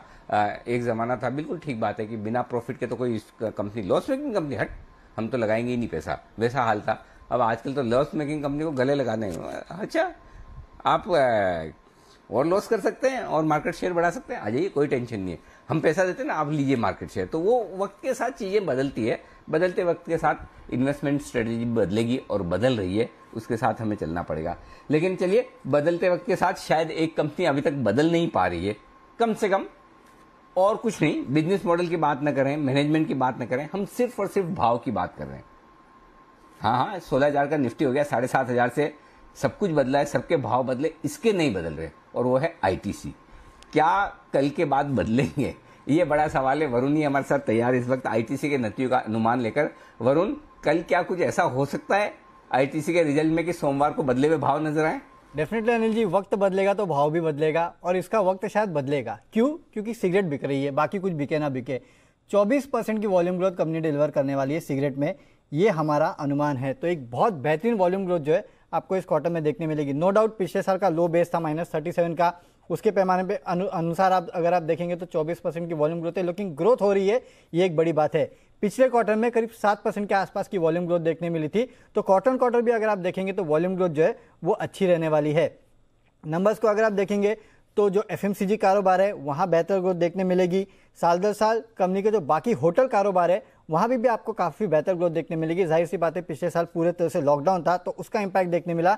एग्री में पाँच परसेंट और कंपनी का जो पेपर कारोबार है वहाँ बीस परसेंट के आसपास की ग्रोथ होगी। कंपनी का साल दर साल रेवेन्यूज तीस परसेंट बढ़ेंगे।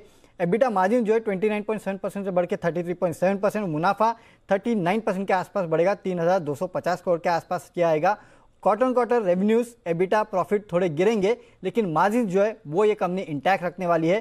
33.7 परसेंट के आसपास की क्योंकि कंपनी ने पिछले कुछ क्वार्टर्स में लगातार प्राइस हाइक की है तो उसका फ़ायदा कंपनी को इस क्वार्टर में मिलेगा। तो मार्जिन इंटैक्ट रहेंगे और कंपनी के वॉल्यूम जो है वहाँ भी अच्छी ग्रोथ का अनुमान लगाया जा रहा है। ओके okay, तो ये है आपके लिए आईटीसी अच्छी ग्रोथ का अनुमान मज़बूत ग्रोथ का अनुमान। आईटीसी पे मैं बार बार सवाल पूछ के थक गया सबसे। अब की बार फोर ए चेंज वागले साहब से सवाल पूछूँगा आईटी से। वागले साहब आईटीसी पर आप कभी चार्ट्स देखते हैं या आपने भी छोड़ रखा है कि नहीं नहीं, इसको क्या देखना?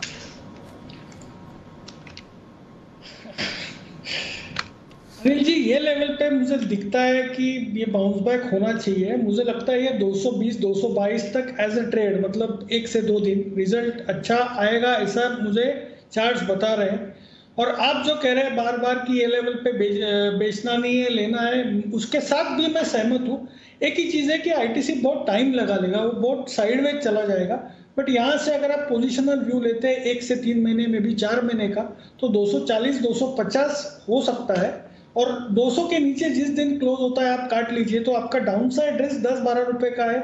ऑन द अपसाइड तीस से चालीस रुपए का अपसाइड है। टाइम का थोड़ा सा गारंटी नहीं है मतलब एस्टिमेट नहीं कर सकते। बिल्कुल गारंटी नहीं ले सकते एस्टिमेट नहीं ले सकते।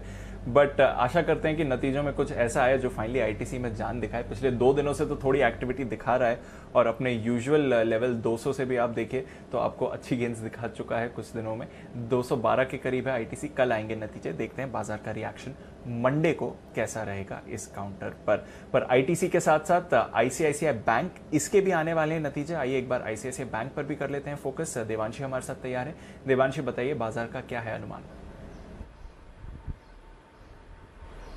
बिल्कुल, दीपांशु एच बैंक में जिस तरह से थोड़े से कमज़ोर नतीजे थे, उसके बाद आईसीआईसीआई बैंक से पॉजिटिव नंबर्स का अनुमान किया जा रहा है। इस बार जो लोन बुक है, वो डबल डिजिट ग्रोथ बता सकता है।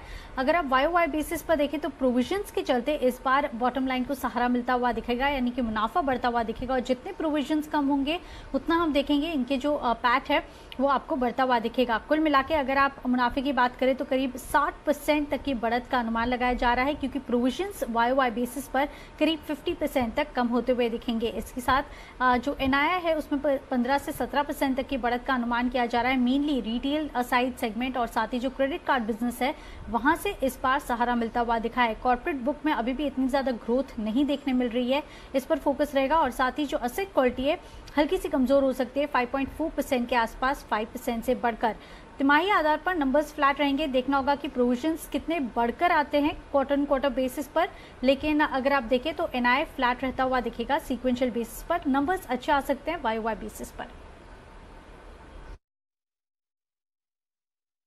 अच्छे नंबर्स रहेंगे वाई वाई बेसिस पर। देखते हैं तिमाही दर तिमाही किस तरह की परफॉर्मेंस रहेगी आईसीआईसीआई बैंक की। विश्वेश जी, दो दिनों में अच्छी तेज़ी दिखा चुका है आईसीआईसीआई बैंक लाइफ हाई पर कर रहा है ट्रेड क्या राय है इसके चार्ट पर सर देखिए, जब शो, शुरू हुआ तभी मैंने क्लियरली ये कहा था कि मुझे ऐसा लग रहा है ICICI Bank can lead from the front और बैंक निफ्टी आज अगर आप आईसीआईसीआई बैंक एक्स कर दो तो शायद फ्लैट हो जाएगा। मुझे ये लग रहा है आईसीआईसीआई बैंक में एक बहुत ही ब्यूटीफुल पैटर्न जिसे कप एंड हैंडल कहते हैं, जिसमें 670 के लेवल से दो नहीं, तीन बार फेल हुआ था। तो आज अगर 670 के ऊपर with a very strong data ये क्लोजर है इट इज़ इंडिकेटिंग दैट 680 मेरे हिसाब से ओपन होना चाहिए और उसके ऊपर में 700 तक के लेवल देखने चाहिए। इन ऑल लाइकलीहुड मेरे हिसाब से आईसीआईसीआई बैंक के अंदर में बुलिश ही होना चाहिए। एंड इसकी वजह से मुझे लगता है बैंक निफ्टी में भी बुलिश टेंस होना चाहिए। Depends I am very upbeat मुझे लगता है और if there is any minor decline toward 670 long करके जाना चाहिए। ओके तो 670 पर खरीदारी करें 680 और उसके बाद 700 के लेवल्स आपको आईसीआईसीआई बैंक पर आते हुए दिखेंगे। लाइफ हाई पर है काउंटर बैंक निफ्टी को बढ़िया सपोर्ट दे रहा है। बैंक निफ्टी 400 पॉइंट्स ऊपर आपको बड़ी गेंस के साथ ट्रेड करते हुए दिख रहा है। एसबीआई में भी अभी अभी एक मूव आते हुए दिखा है और एक बार एक बार जरा राय एसबीआई पर भी ले ले। सुमित जी से, सुमित जी, अभी एक मूव आया एसबीआई में। 430 के लेवल पर कोई बीटीएसटी ट्रेड दिखता है? बिल्कुल दिखता है, दीपांशु। थोड़ी देर पहले मैं इसी के लिए कॉल देने के लिए ट्राई करा था, लेकिन स्टॉक तीन चार रुपए वहाँ से ऊपर आ गया। तो इसके अंदर बाय बिल्कुल बनता है। स्टॉक का ऊपर में मेरे को लगता है नेक्स्ट वीक के अंदर टारगेट चार से लेके चार सौ पैंतालीस रुपए तक का मूव देखने को मिल सकता है। बैंक निफ्टी आप देखिए, पैंतीस के ऊपर आ चुका है। आज पैंतीस के ऊपर क्लोजिंग आया मतलब अगला हफ़्ता बैंकिंग स्टॉक और बैंक निफ्टी का, जिसके अंदर पीएसयू बैंकिंग और छोटे मोटे बैंकिंग सब चलेंगे। एसबीआई 440 से 450 के लेवल नेक्स्ट वीक में देखने को मिल सकते हैं। ओके तो 440 450 के लेवल्स नेक्स्ट वीक एसबीआई में आते हुए देख सकते हैं। आईसीआईसीआई बैंक अच्छे मोमेंटम में है। एक्सिस बैंक कोटक बैंक इस पर भी आ रही है खरीदारी। और साथ ही बाकी दिग्गज फाइनेंशियल्स में भी मूव आ रही है। बजाज फिनसब में अच्छा एक्शन है। एसबीआई लाइफ यहाँ पर भी आप तेज़ी देख रहे हैं। तो बढ़िया मूव है फाइनेंशियल्स में। नज़र रखते हैं किन लेवल्स पर बैंक निफ्टी की क्लोजिंग आती है। इंडेक्स की बात करें तो बढ़िया ऑप्शन की स्ट्रैटेजी देने के लिए तैयार है। जय ठक्कर। स्वागत करते हैं उनका कैश के ऑप्शन के लिए।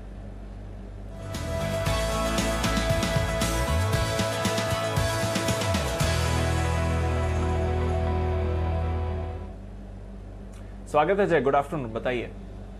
Good afternoon to Deep and good afternoon to Anil ji. Deep you know कल के क्लोजिंग शो में इनफैक्ट मैंने दिया था एक पुट ऑप्शन वहाँ पे तो हासिल हुए टारगेट्स आज मैंने मॉर्निंग में भी पुट ऑप्शन दिया। मुझे सर लगा कि 700 सवा सात सौ की रेंज को टेस्ट कर सकता है निफ्टी बट देन एक चीज़ है जिसने मार्केट में फिर से हमें प्रीवियस हाइस जो स्विंग अर्ली स्विंग हाइज है आठ सौ छिहत्तर के उसके ऊपर निफ्टी को लेके जाने में कामयाब हुआ, वो है Bank Nifty and definitely no जो हिसाब से वहाँ पे इधर लॉन्ग पोजीशंस बिल्डअप होते हुए नज़र आ रही है मुझे ऐसा लग रहा है कि यहाँ पे हमें और तेज़ी देखने मिल सकती है। आई I मीन mean, जो हिसाब से एक रिवर्सल हमें देखने मिल रहा है। इसीलिए इसका पैंतीस हज़ार के स्ट्राइक का call option in fact thirty five thousand का लेवल भी इंपॉर्टेंट था। एंड थर्टी पैंतीस हज़ार का कॉल ऑप्शन खरीदने की सलाह है। डीप जो तीन सौ चौदह पर मिल रहा है थ्री हंड्रेड एंड फोर्टीन पर मिल रहा है अभी। इसको खरीदना है। यहाँ पे आपको स्टॉप लॉस प्लेस करना है, एक सौ उनतीस पर 129 पर स्टॉप लॉस प्लेस करना है। फ़र्स्ट टारगेट ऊपर में हमें रखना है 503 का। एंड सेकंड टारगेट जो बनेगा, वो है 610 का। 503 610 ये दो टारगेट्स के लिए बैंक निफ्टी का पैंतीस हज़ार के स्ट्राइक का यू नो कॉल ऑप्शन खरीदे और मैं ये भी कहूँगा कि डेफिनेटली जैसे आपने भी कहा कि ऐसे ऐसे बैंक का रिज़ल्ट है so high risk reward traders जो है आई मीन यू नो जिसका रिस्क कैपिटल ज़्यादा वही इसमें दिक्कत चले बिकॉज़ वोलेटिलिटी डेफिनेटली काफ़ी ज़्यादा रहेगी बिकॉज़ ऑफ़ दीज नंबर्स और मुझे ऐसा लग रहा है कि अगर यहाँ से फिर से निफ्टी को और ऊपर जाना है सो बैंक निफ्टी लेकर जा सकता है दीप अदरवाइज़ तो यू नो करेक्शन देखने मिल सकता। है सो हैंस बैंक निफ्टी को चूज़ किया है। चलिए तो बैंक निफ्टी पर है, जय का भरोसा, बैंक निफ्टी पर है, विश्वेश जी का भरोसा, दिग्गज बैंक्स पर फोकस करिए आईसीआईसीआई बैंक एसबीआई अच्छी मूव है एक्सिस कोटक से सहारा मिल रहा है पीएसयू बैंक्स भी आज पार्टिसिपेट कर रहे हैं, पैंतीस हज़ार के ऊपर क्लोजिंग के लिए भी अगर बैंक निफ्टी देता है आपको लेवल्स तो बढ़िया मूव आएगी। कुछ मिनट बाकी है ट्रेड के लिए, आइए चलते हैं, अनिल जी के पास, एक कॉल आ रही है उनकी तरफ़ से, कल के दो हज़ार का बिगुल।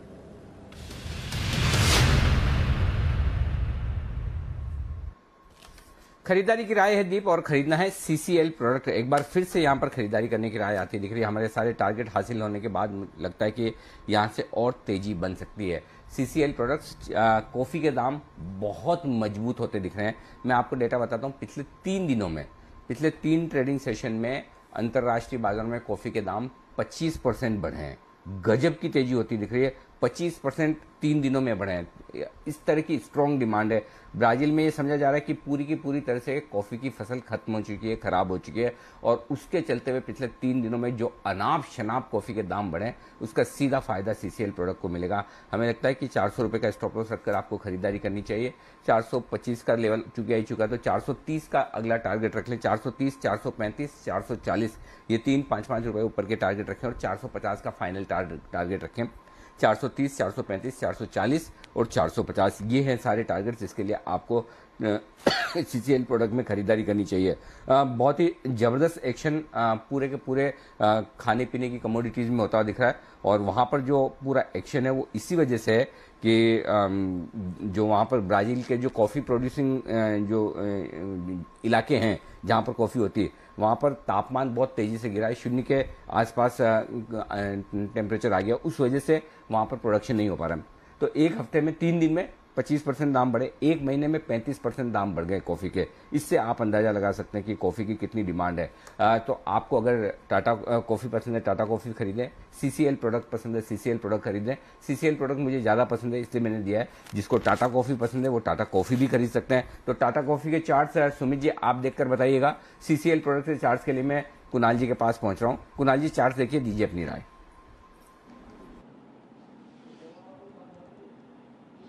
अनिल जी देखिए, बहुत ही ज़बरदस्त चार्ट है और जैसे हम लोग कल भी चर्चा कर रहे थे अनिल जी, जब आपने इसको आइडेंटिफाई किया था, एक बड़ा ब्रेकआउट चार्ट पर आता हुआ दिख रहा था। और उस समय अनिल जी, एक फ्लैग पैटर्न का ब्रेकआउट हुआ। आज हम देख रहे हैं, और भी इंपॉर्टेंट ब्रेकआउट है, क्योंकि चार सौ दस रुपए का स्तर भी स्टॉक ने पार कर लिया है। तो अनिल जी, अभी देखिए, ये स्टॉक एक तरफा चलते हैं कमोडिटीज के जब चलने पर आते हैं तो एक तरफा चलते हैं। और मुझे लगता है कि इसमें आपको चार सौ साठ रुपए तक का एक स्ट्रेट रन सीसीएल प्रोडक्ट्स में देखने को मिलेगा तो जिनके पास भी निवेश है निवेशित रहने की राय है नई खरीदारी कर रहे हैं तो 410 के आसपास स्टॉप लॉस रखें 460 का टारगेट रखें। आपके लिए राय होल्ड करने की 450 460 तक के टारगेट सीसीएल प्रोडक्ट में आ सकते हैं। तो कॉफ़ी के ये बढ़ते हुए दाम अंतर्राष्ट्रीय बाजारों में आ, और वैसे भी कुणाल जी कह भी रहे हैं कि कॉफ़ी पीने वाले बड़े कट्टर प्रेमी होते हैं कॉफ़ी के। वो कोई भी भाव हो कॉफ़ी खरीदेंगे ज़रूर। टाटा कॉफ़ी बताएँ जरा सुमित जी इसके चार्ट्स जी, कुछ दिनों से बहुत बढ़िया मौसम हो रहा है तो मेरे को लग रहा है स्टॉक खाली चाय कॉफ़ी और पकोड़े से रिलेटेड ही चलेंगे। तो ये स्टॉक जो चल रहा है, टाटा कॉफ़ी, इसके अंदर एक बहुत बढ़िया तेज़ी देखने को मिल रही है। स्टॉक यहाँ से अभी और ऊपर का मूव दिखा सकता है। 225 230 ये लेवल्स आने वाले दिनों में टाटा कॉफ़ी में देखने को मिल सकते हैं। जिन्होंने भी बाय करके रखा हुआ है होल्ड करके चले। 200 के नीचे का ट्रेलिंग लॉस लगाएँ। 200 बीस, दो सौ पच्चीस, ये लेवल तो इमीडिएटली शॉर्ट टर्म में देखने को मिलेंगे और 230 तक के लेवल भी टाटा कॉफ़ी के अंदर देखने को मिल सकते हैं। तो होल्ड करके चलने का सलाह रहेगा टाटा कॉफ़ी में। ये है आपके लिए होल्ड करने की राय टाटा कॉफ़ी भी इसी तरह का बड़ा एक्शन दिखाने की तैयारी में। तो दोनों ही कॉफ़ी के स्टॉक्स बड़ी मजबूती के साथ आगे बढ़ते हुए। आइए बढ़ते आगे और अब वक्त है सुमित जी के, एक बेहतरीन कॉल लेने का, सुमित के सुपर हिट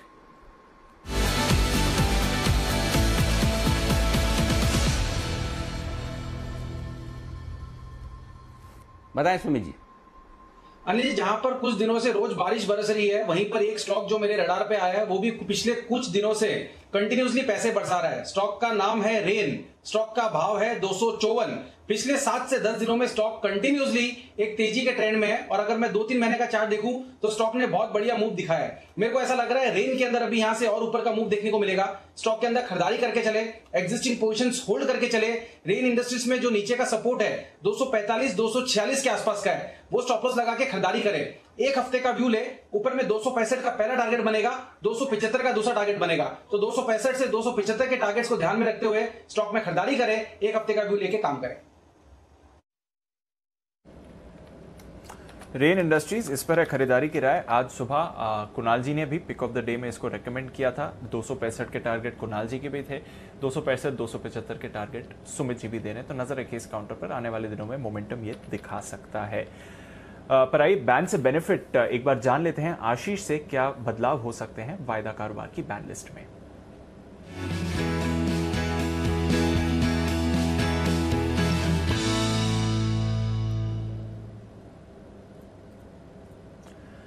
आशीष, बताइए, जो स्टॉक है इस समय बैन लिस्ट में पाँच स्टॉक्स उसमें पहले तो कोई किसी स्टॉक की एग्जिट हो सकती है? बिल्कुल दीपांशु एग्जिट होगी। इंडिया बुल्स हाउसिंग फाइनेंस की काफ़ी लंबे समय से स्टॉक बैन में बना हुआ है।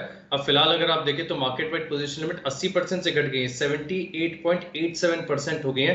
तो इंडिया बुल्स हाउसिंग फाइनेंस ये एक ऐसा स्टॉक है जो बैन से बाहर निकल पाएगा। और दूसरा स्टॉक है जिसकी संभावना है, हालाँकि प्रोबेबिलिटी थोड़ी कम है सन टीवी क्योंकि 80 परसेंट से नीचे घटी नहीं अभी, इक्यासी पॉइंट पंद्रह परसेंट है मार्केट वाइड पोजिशन लिमिट तो अगला नंबर सन टीवी का ही होगा। आज थोड़ा सा डाउटफुट लग रहा है कि ये स्टॉक बैन से बाहर आएगा। इंडिया बुल्स हाउसिंग फाइनेंस ये पक्का है इसकी एग्जिट हो जाएगी। हाउसिंग एग्जिट होने के लिए तैयार है और शायद सन टीवी पर हो तो नज़र रखेंगे इस पर। India Bulls Housing in fact momentum में भी आ रहा है। पर फ्रेश एंट्री आशीष कोई स्टॉक्स हैं जो वापस बैन में आ सकते हैं? दीपांशु, तीन स्टॉक के नाम ऐसे हैं जहाँ पर मार्केट वाइड पोजीशन लिमिट पचानवे परसेंट को क्रॉस कर गई। सबसे पहला आता है वोडाफोन आइडिया यहाँ पर अगर आप देखें तो काफ़ी बड़ा उछाल देखने को मिला है। पोजीशंस में 103 परसेंट हो गई है। तो वोडाफोन आइडिया ये तो पक्का है कि बैन में आएगा। इसके अलावा एनएमडीसी यहाँ पर भी नज़र रखेगा। सौ परसेंट है मार्केट वाइड पोजीशन लिमिट फ़िलहाल तो पिचानवे परसेंट के मार्क के ऊपर ही चल रही है तो ये भी बैन में आएगा। सेल थोड़ी सी प्रोबेबिलिटी है 96.62 परसेंट है फ़िलहाल अगर आप देखेंगे तो मार्केट वाइड पोजीशन लिमिट अगर हो सकता है कि बाज़ार बंद होने के समय पोजीशन घट जाए तो स्टॉक बैन में नहीं आएगा, लेकिन प्रोबेबिलिटी तो बन रही है। तो आइडिया एनएमडीसी और सेल ये तीन स्टॉक ऐसे जिनकी मार्केट वाइड पोजिशन लिमिट जो है फ़िलहाल पिचानवे परसेंट के ऊपर है। के तो पिचानवे परसेंट से ऊपर है और संभावना है पूरी कि ये वापस बैन में आ सकते हैं। एनएमडीसी तो कल ही बाहर आया था, वापस फिर से आते हुए देख सकता है। सेल कल भी लग रहा था कि बैन में आ सकता है, हुआ नहीं। देखते हैं कि आज शाम को जब अपडेट आएगा तो उसमें वापस बैन में आया है सेल की नहीं। पर नज़र रखें तो ये है आपके लिए बैन से बेनिफिट आशीष की तरफ़ से इस समय। आइए फिर क्लोजिंग की तरफ़ मूव कर रहे हैं। थोड़ी देर में अनिल जी से, बल्कि अनिल जी भी डेटा रीडिंग के साथ तैयार हैं तो पहले अनिल जी से स्ट्रैटेजी ही ले लेते हैं। तीन बीस की स्ट्रैटेजी अनिल जी के साथ।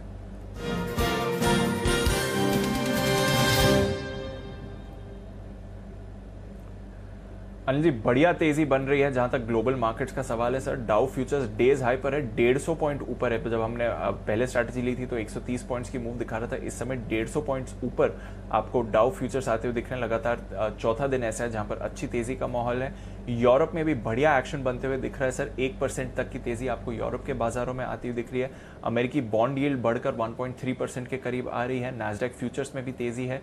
कच्चा तेल दायरे में ट्रेड कर रहा है और डॉलर पर भी हम हल्की सी गिरावट देख रहे हैं। क्या करना चाहिए सर बाज़ार बंद होने के समय? तो दीप जैसा हम बात कर रहे थे कि पंद्रह हज़ार आठ सौ पचास, आठ सौ पचहत्तर की रेंज में क्लोजिंग होनी चाहिए। ढाई बजे जो हम बात करते हैं एग्जैक्टली उसी रेंज में क्लोजिंग हो रही है, आप देख लीजिए। तो अगर बहुत ऊपर हो रही होती पंद्रह, नौ सौ नौ सौ पच्चीस तो मैं पक्के तौर पर कहता कि प्रॉफिट बुक करके निकल जाइए मंडे को देखेंगे। लेकिन चूँकि जहाँ होनी चाहिए, वहाँ से पचास पॉइंट नीचे क्लोज हो रही है डे हाई से तो फिर थोड़ी प्रॉफिट बुकिंग ऑलरेडी हो चुकी है। अब आपको सिंपल चीज़ ये ध्यान में रखनी है, डेढ़ सौ पॉइंट ऊपर, डेढ़ सौ पॉइंट नीचे के रिस्क है गैप से ऊपर या नीचे खुलने की, ज़्यादा से ज़्यादा, इससे ज़्यादा नहीं। यानी कि बहुत कुछ अच्छा हो गया दुनिया भर में तो आप सोलह हज़ार खुल जाएँगे। बहुत कुछ खराब हो गया तो पंद्रह सात सौ खुल जाएँगे, ठीक है ना? तो उस लिहाज से आप अपनी जो भी पोजीशन है, आप एकदम बैलेंस है लॉन्ग और शॉर्ट पोजीशन दोनों के लिए। तो अगर आप लॉन्ग हैं, समझो आपने फ्यूचर्स खरीद रखा है निफ्टी का तो पंद्रह सात सौ का पुट खरीद लें या सोलह हज़ार का कॉल बेच दें। सिमिलरली अगर आपने शॉर्ट कर रखा है तो सोलह हज़ार का कॉल सोलह हज़ार का एक आप ये खरीद लें कॉल खरीद लें। ताकि मतलब आपके आपकी पोजीशन आपकी तरफ़ से हेज रहनी चाहिए दोनों तरफ़ से वो ध्यान में रखें। मेरे ख्याल से एकदम बैलेंस्ड आप हैं दोनों ही तरफ़ से। आ, बाकी रेंज के हाई रेंज पे पंद्रह नौ सौ के आसपास इसीलिए हम कह रहे थे कि वहाँ नहीं खरीदारी करनी लेकिन bank Nifty for a change थोड़ी मज़बूत क्लोजिंग देने की कोशिश कर रहा है। लेकिन मैं अभी भी बैंक निफ्टी चौंतीस नौ सौ पैंतीस एक सौ में किसी भी एक तरफ़ डायरेक्शन लेने का मन नहीं है क्योंकि हर बार वो थोड़ा सा आपको लालच देता है। तो पैंतीस हज़ार एक सौ के ऊपर निकलेगा मंडे को तो वहाँ खरीद लेंगे। चौंतीस नौ के नीचे जाएगा तो वहाँ खराब होगा। तो वेट एंड वॉच है फ्रेश कोई ट्रेड लेना नहीं चाहिए। जो भी आपका ट्रेड है, उसको प्रॉपर हेज करके चले। ये ज़्यादा बढ़िया जी दी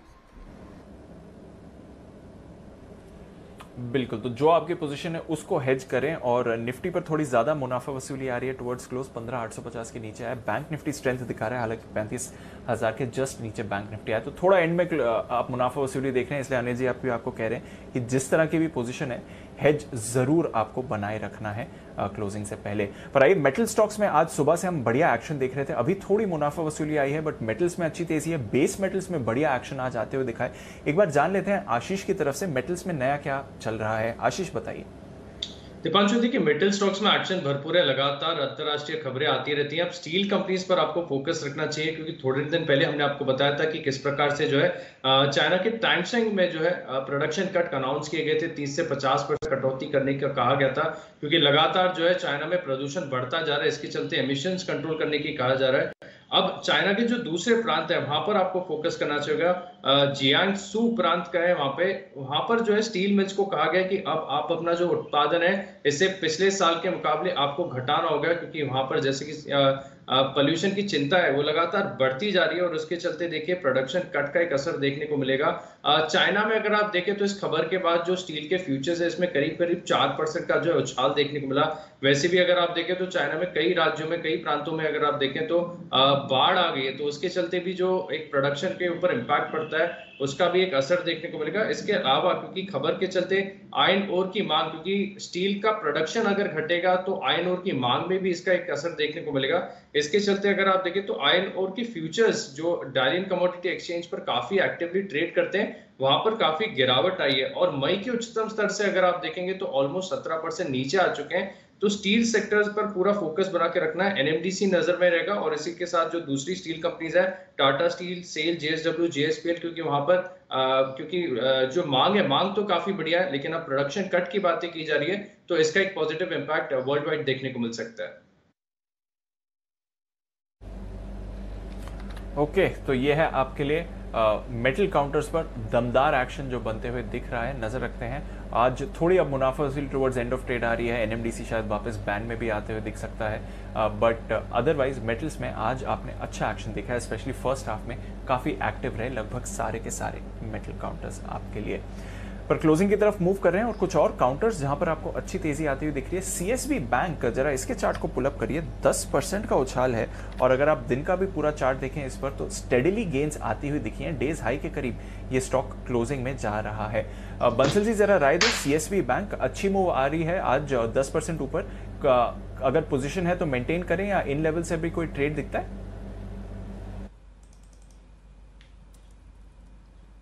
नहीं, दिवांशु, आपने बहुत ही एक बढ़िया वाला स्टॉक आइडेंटिफाई करा है। नीट क्लीन क्लियर रिवर्सल है। कल के सत्र में एक ब्रेकडाउन था।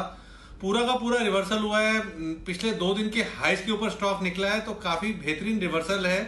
तो बैंकिंग में तो आईसीआईसी बैंक काफ़ी अच्छा लग रहा था और ये भी काफ़ी अच्छा लग रहा है। थ्री फोर्टी का एक स्टॉप लॉस लगाना चाहिए। और जिस तरीके का टेक्निकल स्ट्रक्चर है, ये स्टॉक एक नए नए हाइज लगा सकता है। Three sixty eight three seventy के लेवल्स शॉर्ट टर्म में दिखा सकता है।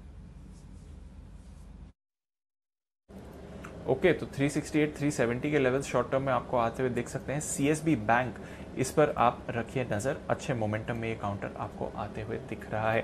इसके साथ ही कुछ और काउंटर्स जहाँ पर आपको अच्छी तेज़ी बन रही है महिंद्रा हॉलीडेज इस पर भी रखिए नज़र क्योंकि महिंद्रा लाइफ की खबर हमने आपको सुबह बताई थी कि कैसे ये बोनस शेयर पर विचार करेंगे। अट्ठाईस तारीख को उनतीस तारीख को महिंद्रा हॉलीडेज का भी मैनेजमेंट मिलने वाला है बोर्ड मिलने वाला है बोनस शेयर पर विचार करने के लिए। महिंद्रा हॉलीडेज पर एक बार जरा राय दें, वागले साहब, पाँच परसेंट ऊपर है और जब ये खबर आई थी मार्केट आर्स में, तब एक बड़ा स्पाइक आया था गेंस होल्ड करके क्लोजिंग की तरफ़ जा रहे हैं सर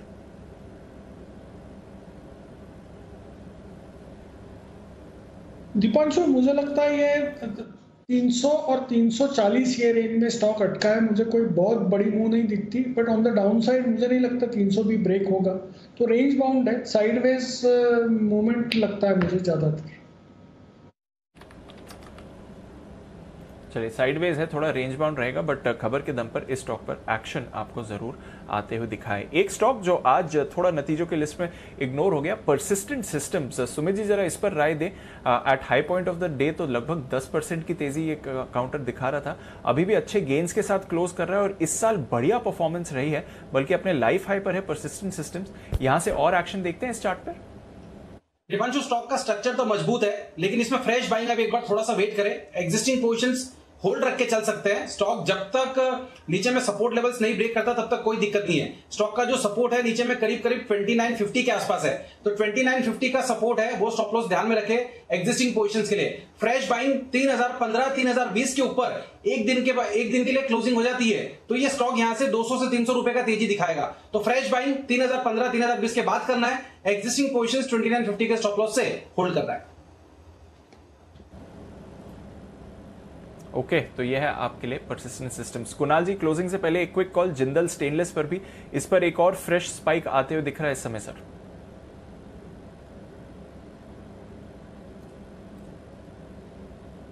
है दीपांशु पूरे बाज़ार में आपको ऐसा दूसरा ब्रेकआउट नहीं मिलेगा। तो बहुत ही शानदार ब्रेकआउट आता हुआ दिख रहा है। मुझे उम्मीद है कि और ऊपर के लेवल्स इसमें देखने को मिलेंगे। मेटल्स में जो तेज़ी चल रही है, उसका मुझे नहीं लगता कि कोई और दूसरा पैरेलल आपको देखने को मिल रहा है। तो बिल्कुल जेएसएल अभी एक ब्रेकआउट आता हुआ दिख रहा है, जिनके पास भी पोजिशन है होल्ड करें, नई खरीदारी भी स्तरों पर कर सकते हैं। बिल्कुल तो जिंदल स्टेनलेस पर रखिए नज़र। आइए, एक कॉल जय दे रहे हैं, जय का जैकपॉट जय, बिगुल नहीं बता रहा हूँ टाइम कम है। कॉल बता दीजिए। जी, दीपांशु 1440 के स्ट्राइक का कॉल ऑप्शन खरीदना है यूबीएल का, जो करीब आपको 21 बाईस रुपए के रेंज में मिलेगा। यहाँ पे स्टॉप लॉस आपका रहेगा तेरह रुपए का।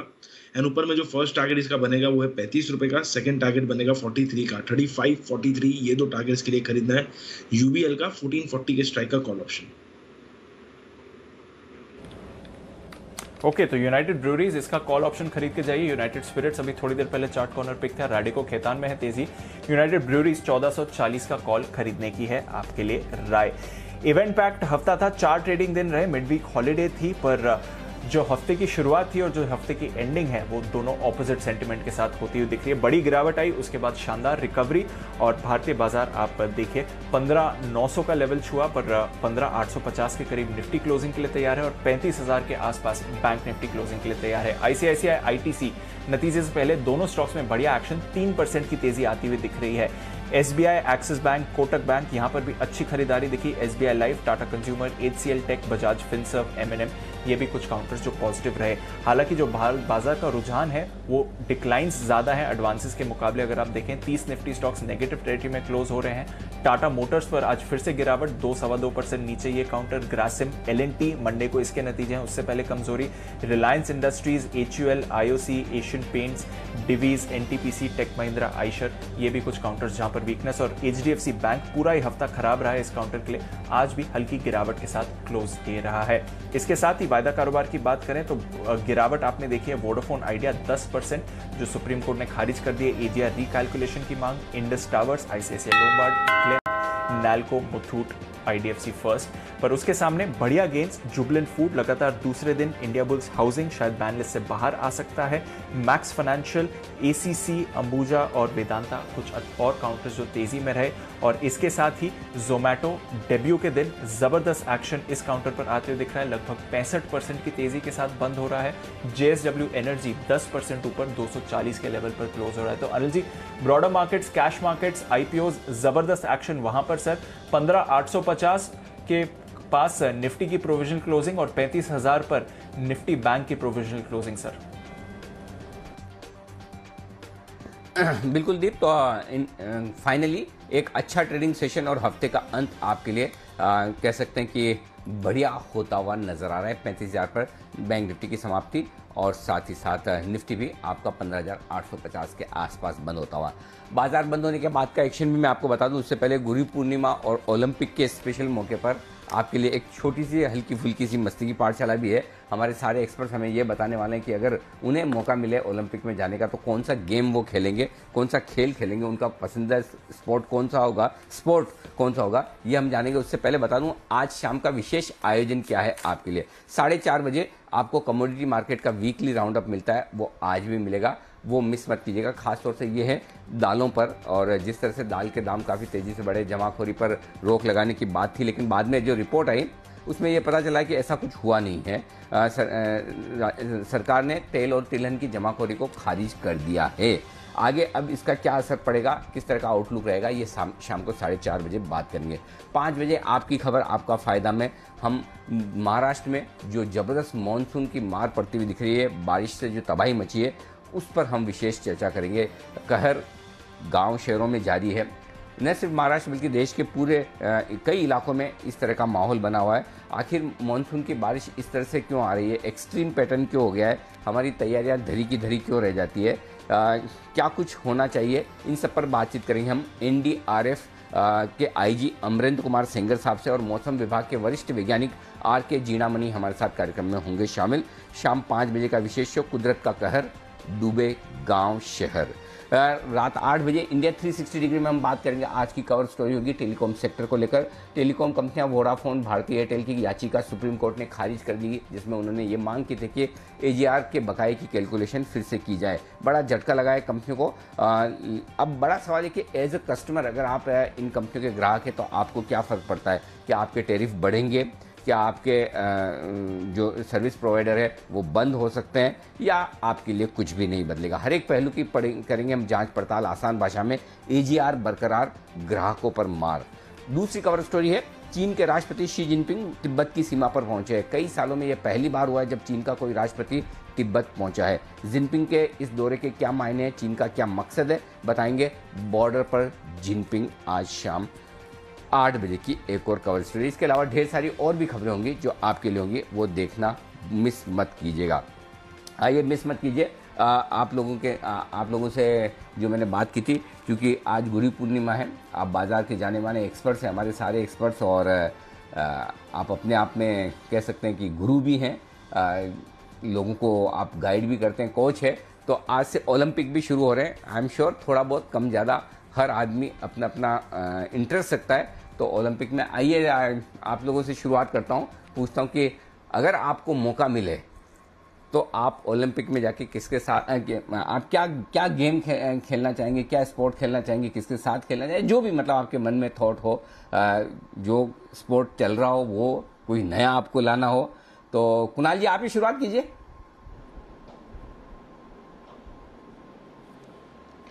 अनिल जी देखिए सबसे पहले तो खेलने की बात है तो अनिल जी मुझे जो भारतोलन है यानी कि वेट लिफ्टिंग करने का अनिल जी मुझे मन है और उसकी वजह अनिल जी क्या है कि जैसे आप मैं हाँ। वेट लिफ्टर्स को देखता हूँ टीवी पर तो क्या है कि वो पहले एक झटका देते हैं अनिल जी आधा वेट उठाते हैं और उसके बाद दूसरे झटके में अनिल जी उसको पूरा ऊपर ले जाते हैं स्नैच वेट लिफ्टिंग शायद उसको कहते हैं तो अनिल जी बिल्कुल वैसे ही अनिल जी शेयर को हम्म। खरीदना होता है आप खरीदते हैं पहले अनिल जी थोड़ा बढ़ता है तो वो बढ़ने के बाद जब अनिल जी आखिरी जब बढ़त आती है तब उसको होल्ड कर पाना बहुत मुश्किल काम होता है। तो अनिल जी इसीलिए मैं वेट लिफ्टिंग करना चाहता हूँ। बिल्कुल शेयर खरीदने जैसा है।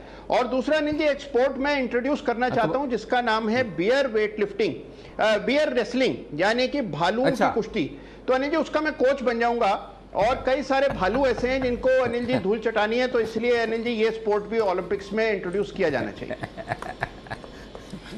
अच्छा कोच बनेंगे या खिलाड़ी बनेंगे यहाँ पर? मतलब पहले देखो कोई भी कोच सक्सेसफुल कोच तभी होता है कोच बनने के पहले वो खुद खिलाड़ी बनता है। खिलाड़ी बनने के बाद खिलाड़ी खिलाड़ी बनने के बाद रिटायर होने के बाद कोच बनता है। तो पहले आपको ऐसी गलत फहमी नहीं है जी मुझे। चलिए तो ठीक है अगर आप तैयार नहीं है तो वागले साहब को तैयार किया जाएगा। इस तरह की रेसलिंग के लिए कुश्ती के लिए। तो बिल्कुल वागले साहब को तैयार किया जाए कि वो भालुओं से कुश्ती करे लेकिन ये वाला स्पोर्ट थोड़ा दमदार लगा मज़ेदार लगा। अच्छा जय बताएँ आप क्या करेंगे? अनिल जी मैं ओलंपिक्स में आर्चरी खेलना चाहूँगा अनिल जी और उसका कारण ये अनिल जी पहले तो मैं बताऊँगा कि उसमें कुछ ज़्यादा मेहनत नहीं है। कुणाल जी को अभी मेहनत करनी है बहुत सारी ओलंपिक्स में वेट लिफ्टिंग करना है वगैरह। इसमें तो कुछ वेट लिफ्टिंग करने की ज़रूरत नहीं कोई एक्सरसाइज करने की ज़रूरत नहीं है। सीधा बो एन एरो है बाण है तीर है पकड़ो और निशाना लगाओ अनिल जी। और वो निशाना लगाना है और एकदम बढ़िया सा निशाना लगाना है अनिल जी जो एकदम टारगेट पे हिट हो। हम्म। और उसी तरह से हमारे जो स्टॉक्स हम देते हैं उस पर भी टारगेट हिट हो। तो अनिल जी आर्चरी खेलना चाहूँगा ओलंपिक्स में। अनिल जी आज गुरु पूर्णिमा है तो डेफिनेटली ये स्टोरी जो गुरु पूर्णिमा के दिन बहुत ही फ़ेमस है द्रोणाचार्य की और अर्जुन की। तो अनिल जी अर्जुन हम्म। जैसा आर्चरी प्लेयर बनना चाहूँगा। अरे वाह, क्या बात है। और उसके है ना, जो बोर्ड है ना जिसपे निशाना लगाया जाता है वहाँ पर ऊपर खाली लिख दें, वो बीच में जो सेंटर, जिस गोले पे आपको निशाना लगाना होता है, वह अगर निफ्टी या बैंक निफ्टी लिख दिया तो अपने आप आपका तीर, आप ऐसे भी चलाएँगे ना, जैसे घूमते घूमते घूमते घूमते वहीं पहुंचेगा। जैसे वो रजनीकांत की फ़िल्मों में ये था, साउथ इंडियन फ़िल्मों में कि मतलब गोली चलती, घूम फिर के, आराम से पहुँच के फिर वहीं जाके लग जाती है। वैसा वाला आ रहा है, क्योंकि निफ्टी और बैंक निफ्टी पर निशाना तो आपका कमाल का है ही। तो चलिए आर्चरी तीरंदाजी करना चाहते हैं। जय हमारे तो बहुत बढ़िया जय आइडिया अच्छा है आपका। अच्छा हाँ तो सुमित जी आपका क्या इरादा है? अनिल जी जो सब गेम खेलते हैं मेरे को वो गेम नहीं खेलना। मेरे को नया गेम इंट्रोड्यूस करना है जो ज़्यादा लोगों को पता भी नहीं होगा और कुछ लोगों को पता होगा तो उनको मज़ा आएगा। और जिनको पता नहीं है उनको देखने में भी मज़ा आएगा। हाँ। खेलने वाले को भी मज़ा आएगा क्योंकि ज़्यादा लोगों को पता अच्छा। नहीं है। तो जो गेम है अनिल जी वो है गिली डंडा यहाँ पैनलिस्ट में भी सबको पता है कि नहीं पता मुझे नहीं पता बट गिली डंडा में बहुत मज़ा आता है जी सिर्फ़ खाली डंडा लो उछालो मारो गेम हो गया खत्म बस। अरे सुमित जी अब तो बड़े बन जाइए।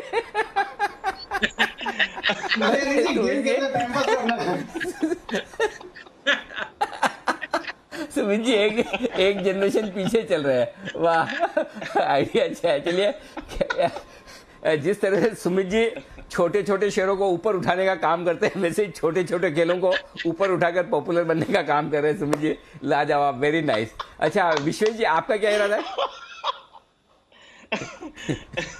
अरे, हँसी नहीं रोकी जा रही है। आपने बहुत ही अच्छा एग्ज़ाम्पल दिया छोटे छोटे शहरों का और छोटे छोटे स्पोर्ट्स का। मैं मतलब सुमित जी से वन टू वन बात करना चाहूँगा शो के बाद में कि उनके क्या विचार है गिल्ली डंडा को लेके। बहुत ही फनी आंसर था उनका।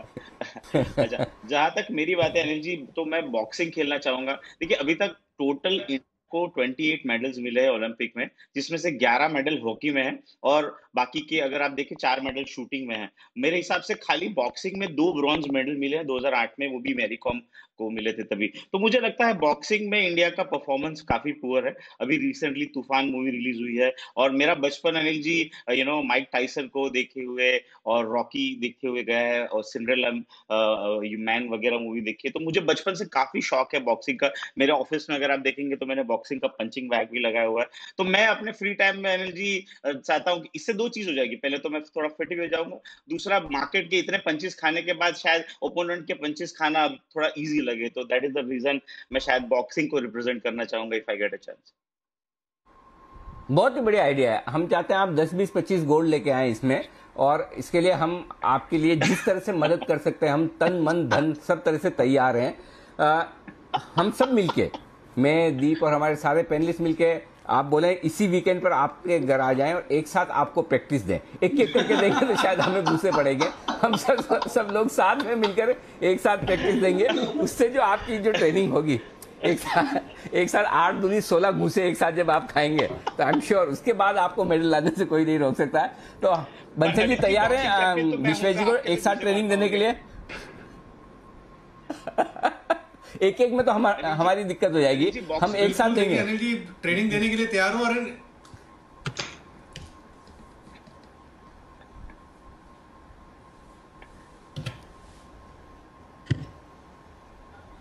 जी। तो चलिए ये तो बात हुई चलिए बॉक्सिंग की। अच्छा बंसल जी बंसल जी आप बताइए आपका क्या पसंदीदा खेल है?